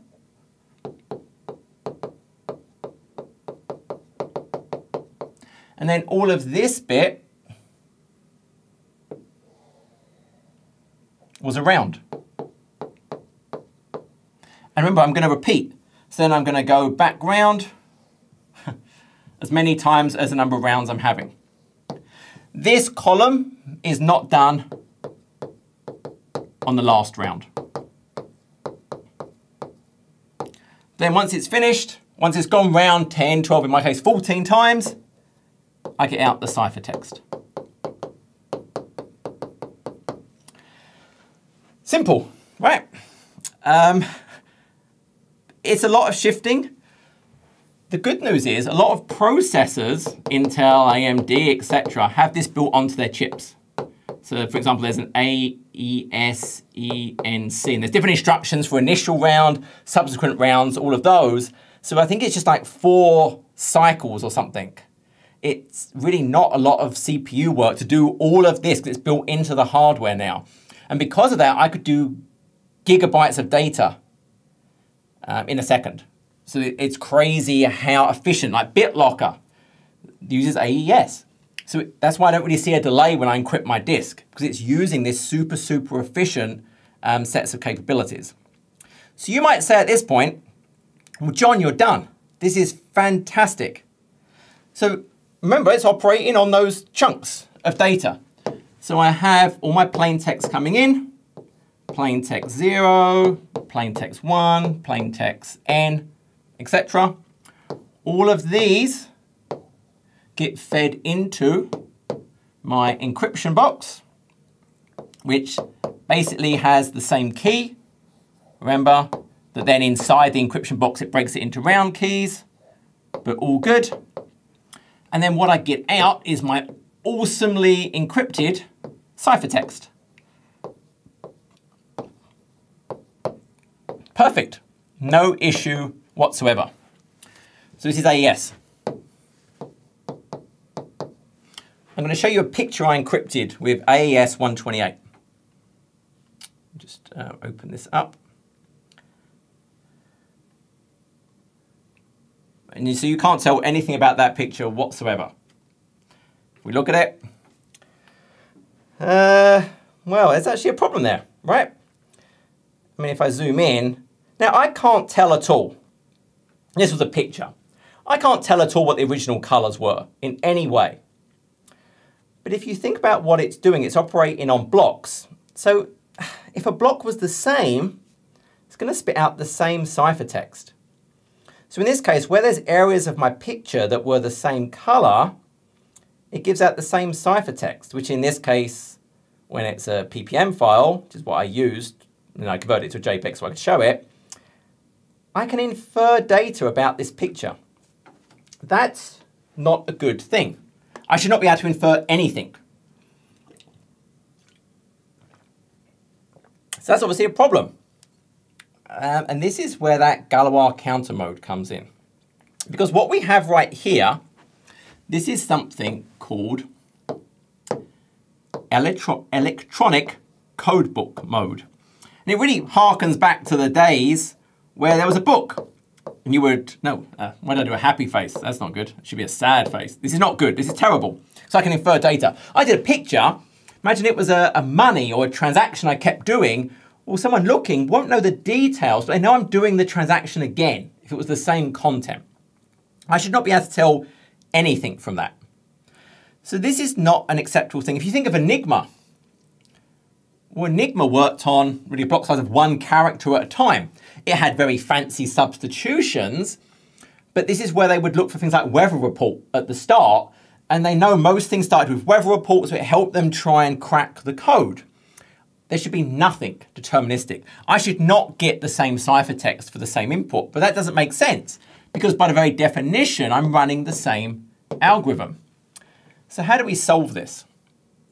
One thing we could do is something called cipher block chaining. I need some kind of initialization vector, something to start with. And then what I have is, once again, I'm not going to do all the colors this time. I want to be a bit quicker. I can XOR with this initialization vector and then run it through my encryption function. And that's my ciphertext zero. So far, so good. I'll take the output of this and then I actually XOR it with the next bit of plain text. So I'm muddling it up, right? Even if these were the same, any of them were the same, because I'm mixing it with the output of the other one, it's going to be random. It will, well, it's not random, it will look random. Even if it's the same plain text in, because I'm mixing it, XORing it with the previous block, it's going to look different. And we can think about n number of times, until we get to the last one. This seems really good. But there's a, a challenge with this approach.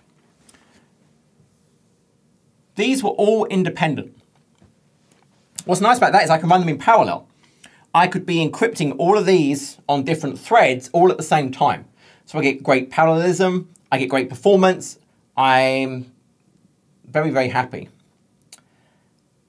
Well, this relies on the output of the one before it, which relies on the output of the one before it. I can't run it in parallel anymore. I have to run it one after each other in series, which means the performance is going to be horrible. There's also challenges with potentially, well, maybe the decryption. Now the decryption, remember I've been given the ciphertext. I should still be able to jump around. I should still be able to potentially decrypt in parallel because all I need at that point is the ciphertext but it, it's, it's just not a great solution. We don't like that. I can't run it in series. It, it doesn't work. So there's another option. Let's come over here. There's the idea of a counter mode. The counter mode, let's just write counter mode. I still have an initialization vector. And I'm going to concatenate it to a counter. So initially it would be zero, and what I do is I feed this into the encryption function. And notice what happened. I fed this initialization vector concatenated with a counter that's going up into the encryption function, not my plain text. And then I XOR with my plain text, which gives me my cipher block initialization vector concatenated with the next number, I run through, XORed with my next bit of plain text, gives me the next bit, all the way through till initialization vector n. Because remember, this encryption function doesn't matter if this is only one number more, it will give out a completely different value. It, remember, it messed all the rows, it substituted, it moved columns. There'll be complete, not random, appearing random coming out of these. There'll be nothing similar about these at all. And remember, my key is still in here. That symmetric key is powering, generating these numbers, so no one else can generate what this is spitting out. So I get to Pn. So I get cipher block n. This is actually nice. And there's, I can run it in parallel again. Because I, know the block number, the counter I can work out, I can run that in complete parallel. And there's also an interesting function of this. Because I'm just XORing the result, I run it again to decrypt. There's not a separate decryption function. If I XOR and XOR, it reverses itself, which is a, a, a nice thing. So I don't have to write a separate decryption. I just rerun it to decrypt. But the point is, this would be ciphertext 0 XORed with this result, which would give me out plain text 0. It's actually really cool when I, when I consider the, how that works. I mean, if we think, for example, just a very simple, simple example. Imagine the, this spat out 1, 0, 0, 1 as my pattern. This is my plain text. And then the output of the encryption block let's say it was 1101, okay? If I XOR those, so XOR, it has to be exclusive OR. So if it's one and one, it spits out zero. So this is zero, one. I don't like what I've done here. Okay, zero, zero. Because one and one is zero, zero, zero, zero. It's only if one of them is one and the other is zero, I get a one. So that's my encrypted. That, that's my ciphertext So decrypt it, if I feed in my ciphertext back into the key exclusive OR again, because remember, I can work out the encryption key at the other end, got the same symmetric key, same round keys, same algorithm. So if I now feed in what I was sent with the encryption key, well, exclusive OR, so I get one, exclusive OR, oh no, zero, exclusive OR, zero, exclusive OR, one. They match. I'm happy. So that proves that point that I don't have to have a separate algorithm. It's just going to work. And to prove a point that it does work, that was my original picture, remember? This is the same picture encrypted with the counter mode. I can't say anything. That really is, and let's just switch to it to make sure, it's completely random. So there's a world of difference between that picture and that picture. And the reason some of this is more garbled is where there was shading. But where it was just like this blank color, it was very, very obvious. So you might say at this point, John, you're done. You have solved the challenge of the internet. And I wish I had. But there's still one problem. I still have to worry about the worst people in the world.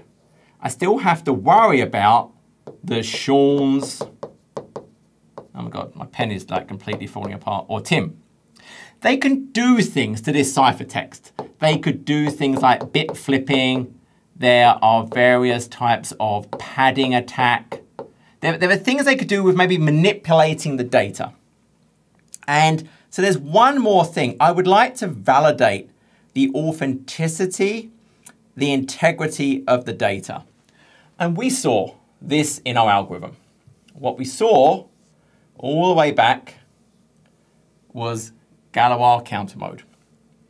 So we know we're using the counter mode, CM, we're doing that initialization vector and we're doing that counter and we're doing it within a Galois field, which again is that finite field of a, a fixed number of elements. And this is going to add a tag. It's basically going to be like same idea as the hash, but it's going to be a message authentication code that will validate nothing's been tampered with. Because if a single part is messed with, I won't get the same value. So let's finish this off. We have, oh, it's not good. There we go. All right. So we're going to now use this Galois counter mode. I'm going to draw very slowly so the pen can keep up. We're going to have an initialization vector of typically 96 bits. This means I can have a counter, so we want 128 bits, because remember that's what AES wants. AES wants 128 bits coming in. So that gives me 32 bits. We still have our key, remember? We still have that key. I'm going to generate something called H. H is going to be our encryption algorithm with our key if I feed in all zeros, 128 zeros. This is going to be used as a base multiplier that I'm going to use throughout the entire algorithm. And then most of it is actually going to look the same. We have exactly the same content of the initialization vector concatenated with the counter 1 gets fed into our encryption, which is going to spit out our ciphertext when we feed in the first bit of plain text. Now I did start with 1, and this is actually going to be plain text 0. You'll see why in a second.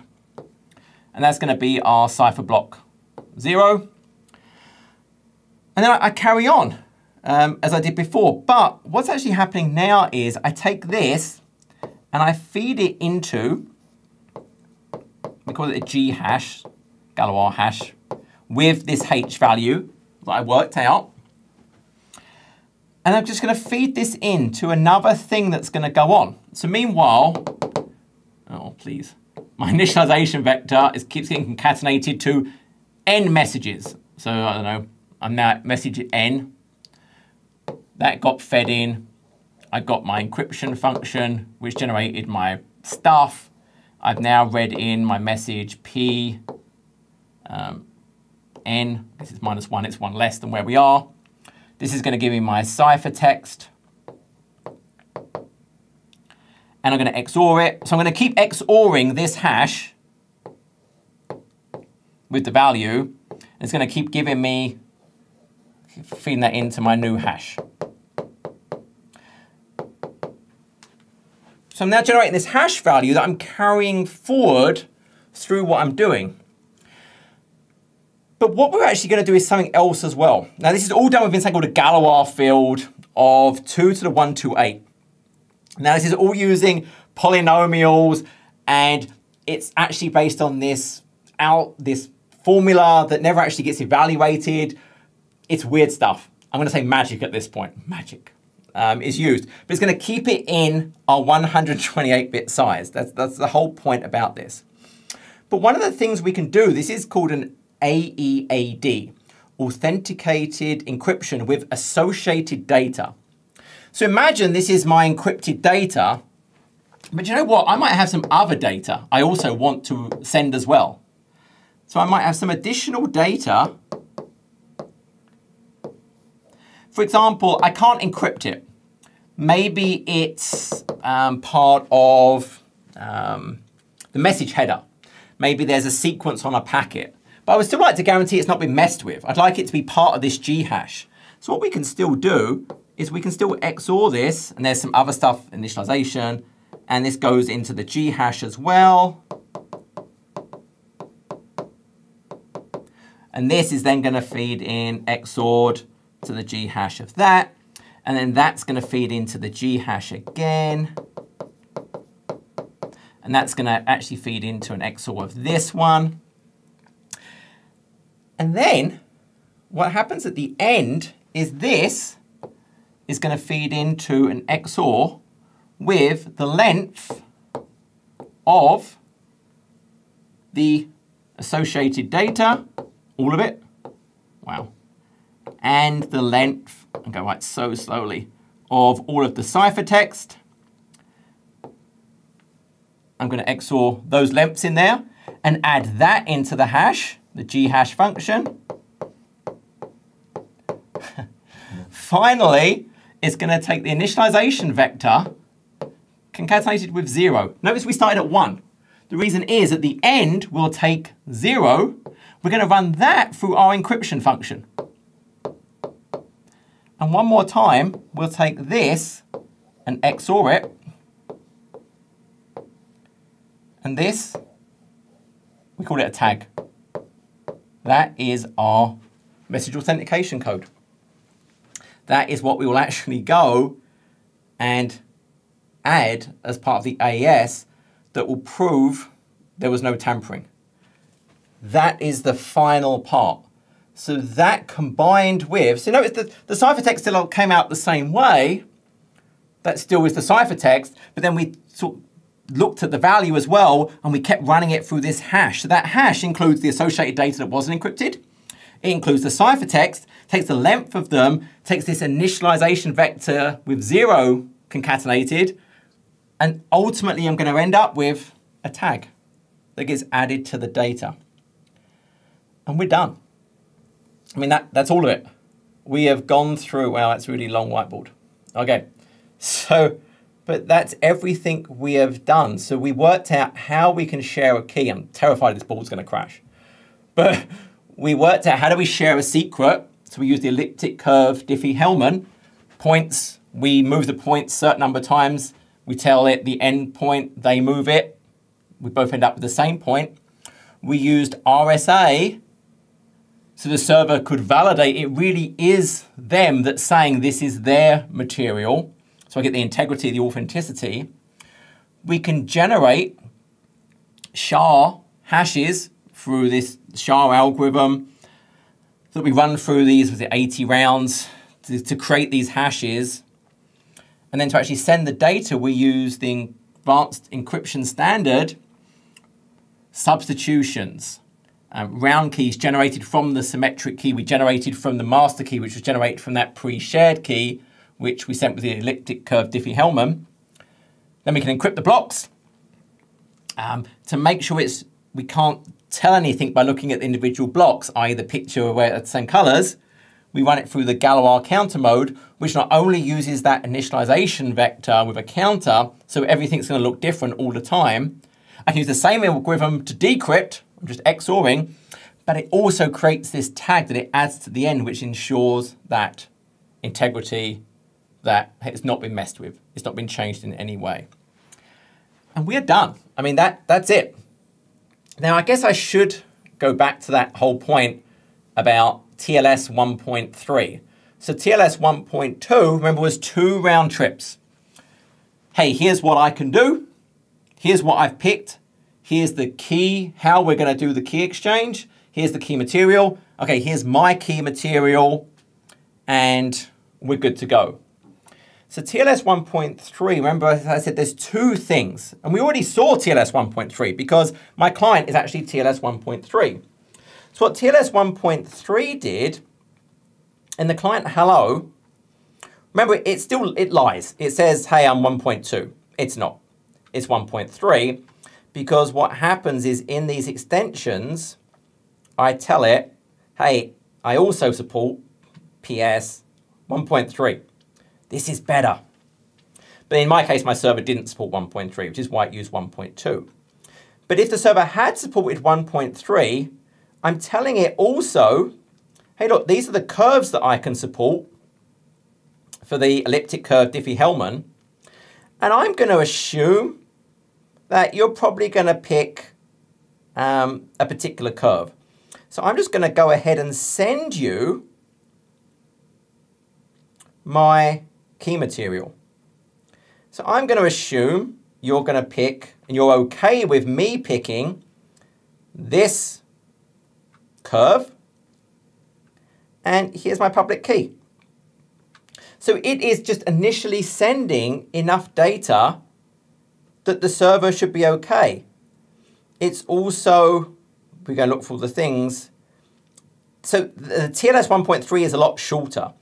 It doesn't have all of the same massive list of cipher suites that are supported on this. It's a much, much smaller list that it will actually support. But we can see there's different bits of information it's going to send.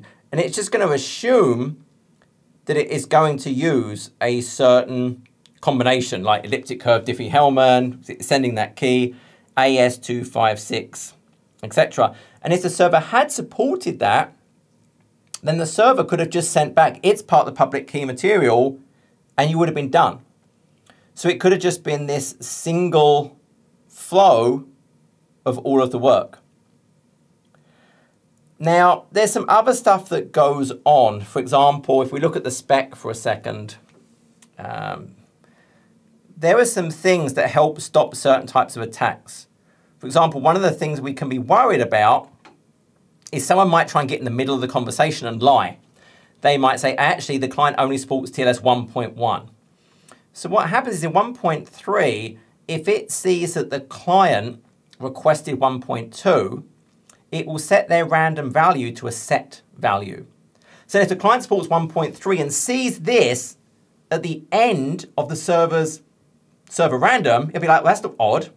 I didn't request 1.2. Someone's doing something bad. Now 1.2 has a similar thing if it sees 1.1, but this is not a must, it's a should. So TLS 1.3 really was about, hey, it can shorten down the handshake. So TLS 1.3 could be one round trip. TLS 1.3 threw away a huge number of the su supported cipher suites. It was only it's the elliptic curve Diffie-Hellman or elliptic curve Diffie-Hellman with a pre-shared key. It enables a, a, session resumption if there's already some pre-shared key material. It doesn't support things like RSA just for the key exchange. It, it has to be using those elliptic curves. It did away with a lot of the older sort of the encryption things. It's a much, much shorter um, set of things. So it locked down the security. It got rid of all the bad stuff off the menu and just gave us the good things. It shortens the handshake potentially if they both support 1.3 and if the client sent something that the server is okay with. As the client, I can also send encrypted data straight away. So there's a concept in the client that it can be a zero round trip. So I can have a zero-RTT packet. So if there was some existing relationship, I can say, hey, I'm going to have some zero round trip um, data, zero round trip time data, this is the stuff we did before. I'm going to use that again. Here's my encrypted data. Use it. So that, that's really the big deal. And that's why TLS 1.3 is, is better, but it's not some huge rush to get to because yes, the handshake are half the number of round trip times from two to one. So it will agree things a bit quicker. But if I've made the right choices on the server side to which cipher suites, it's the same level of security because all the same cipher suites I can do in 1.3, I can do in 1.2.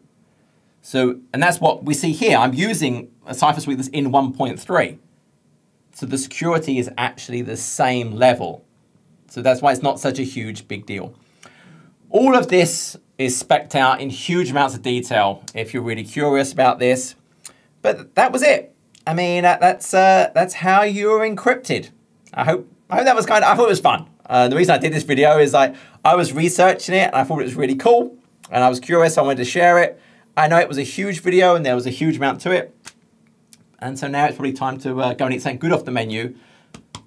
It's time for some pizza. Until next video, take care.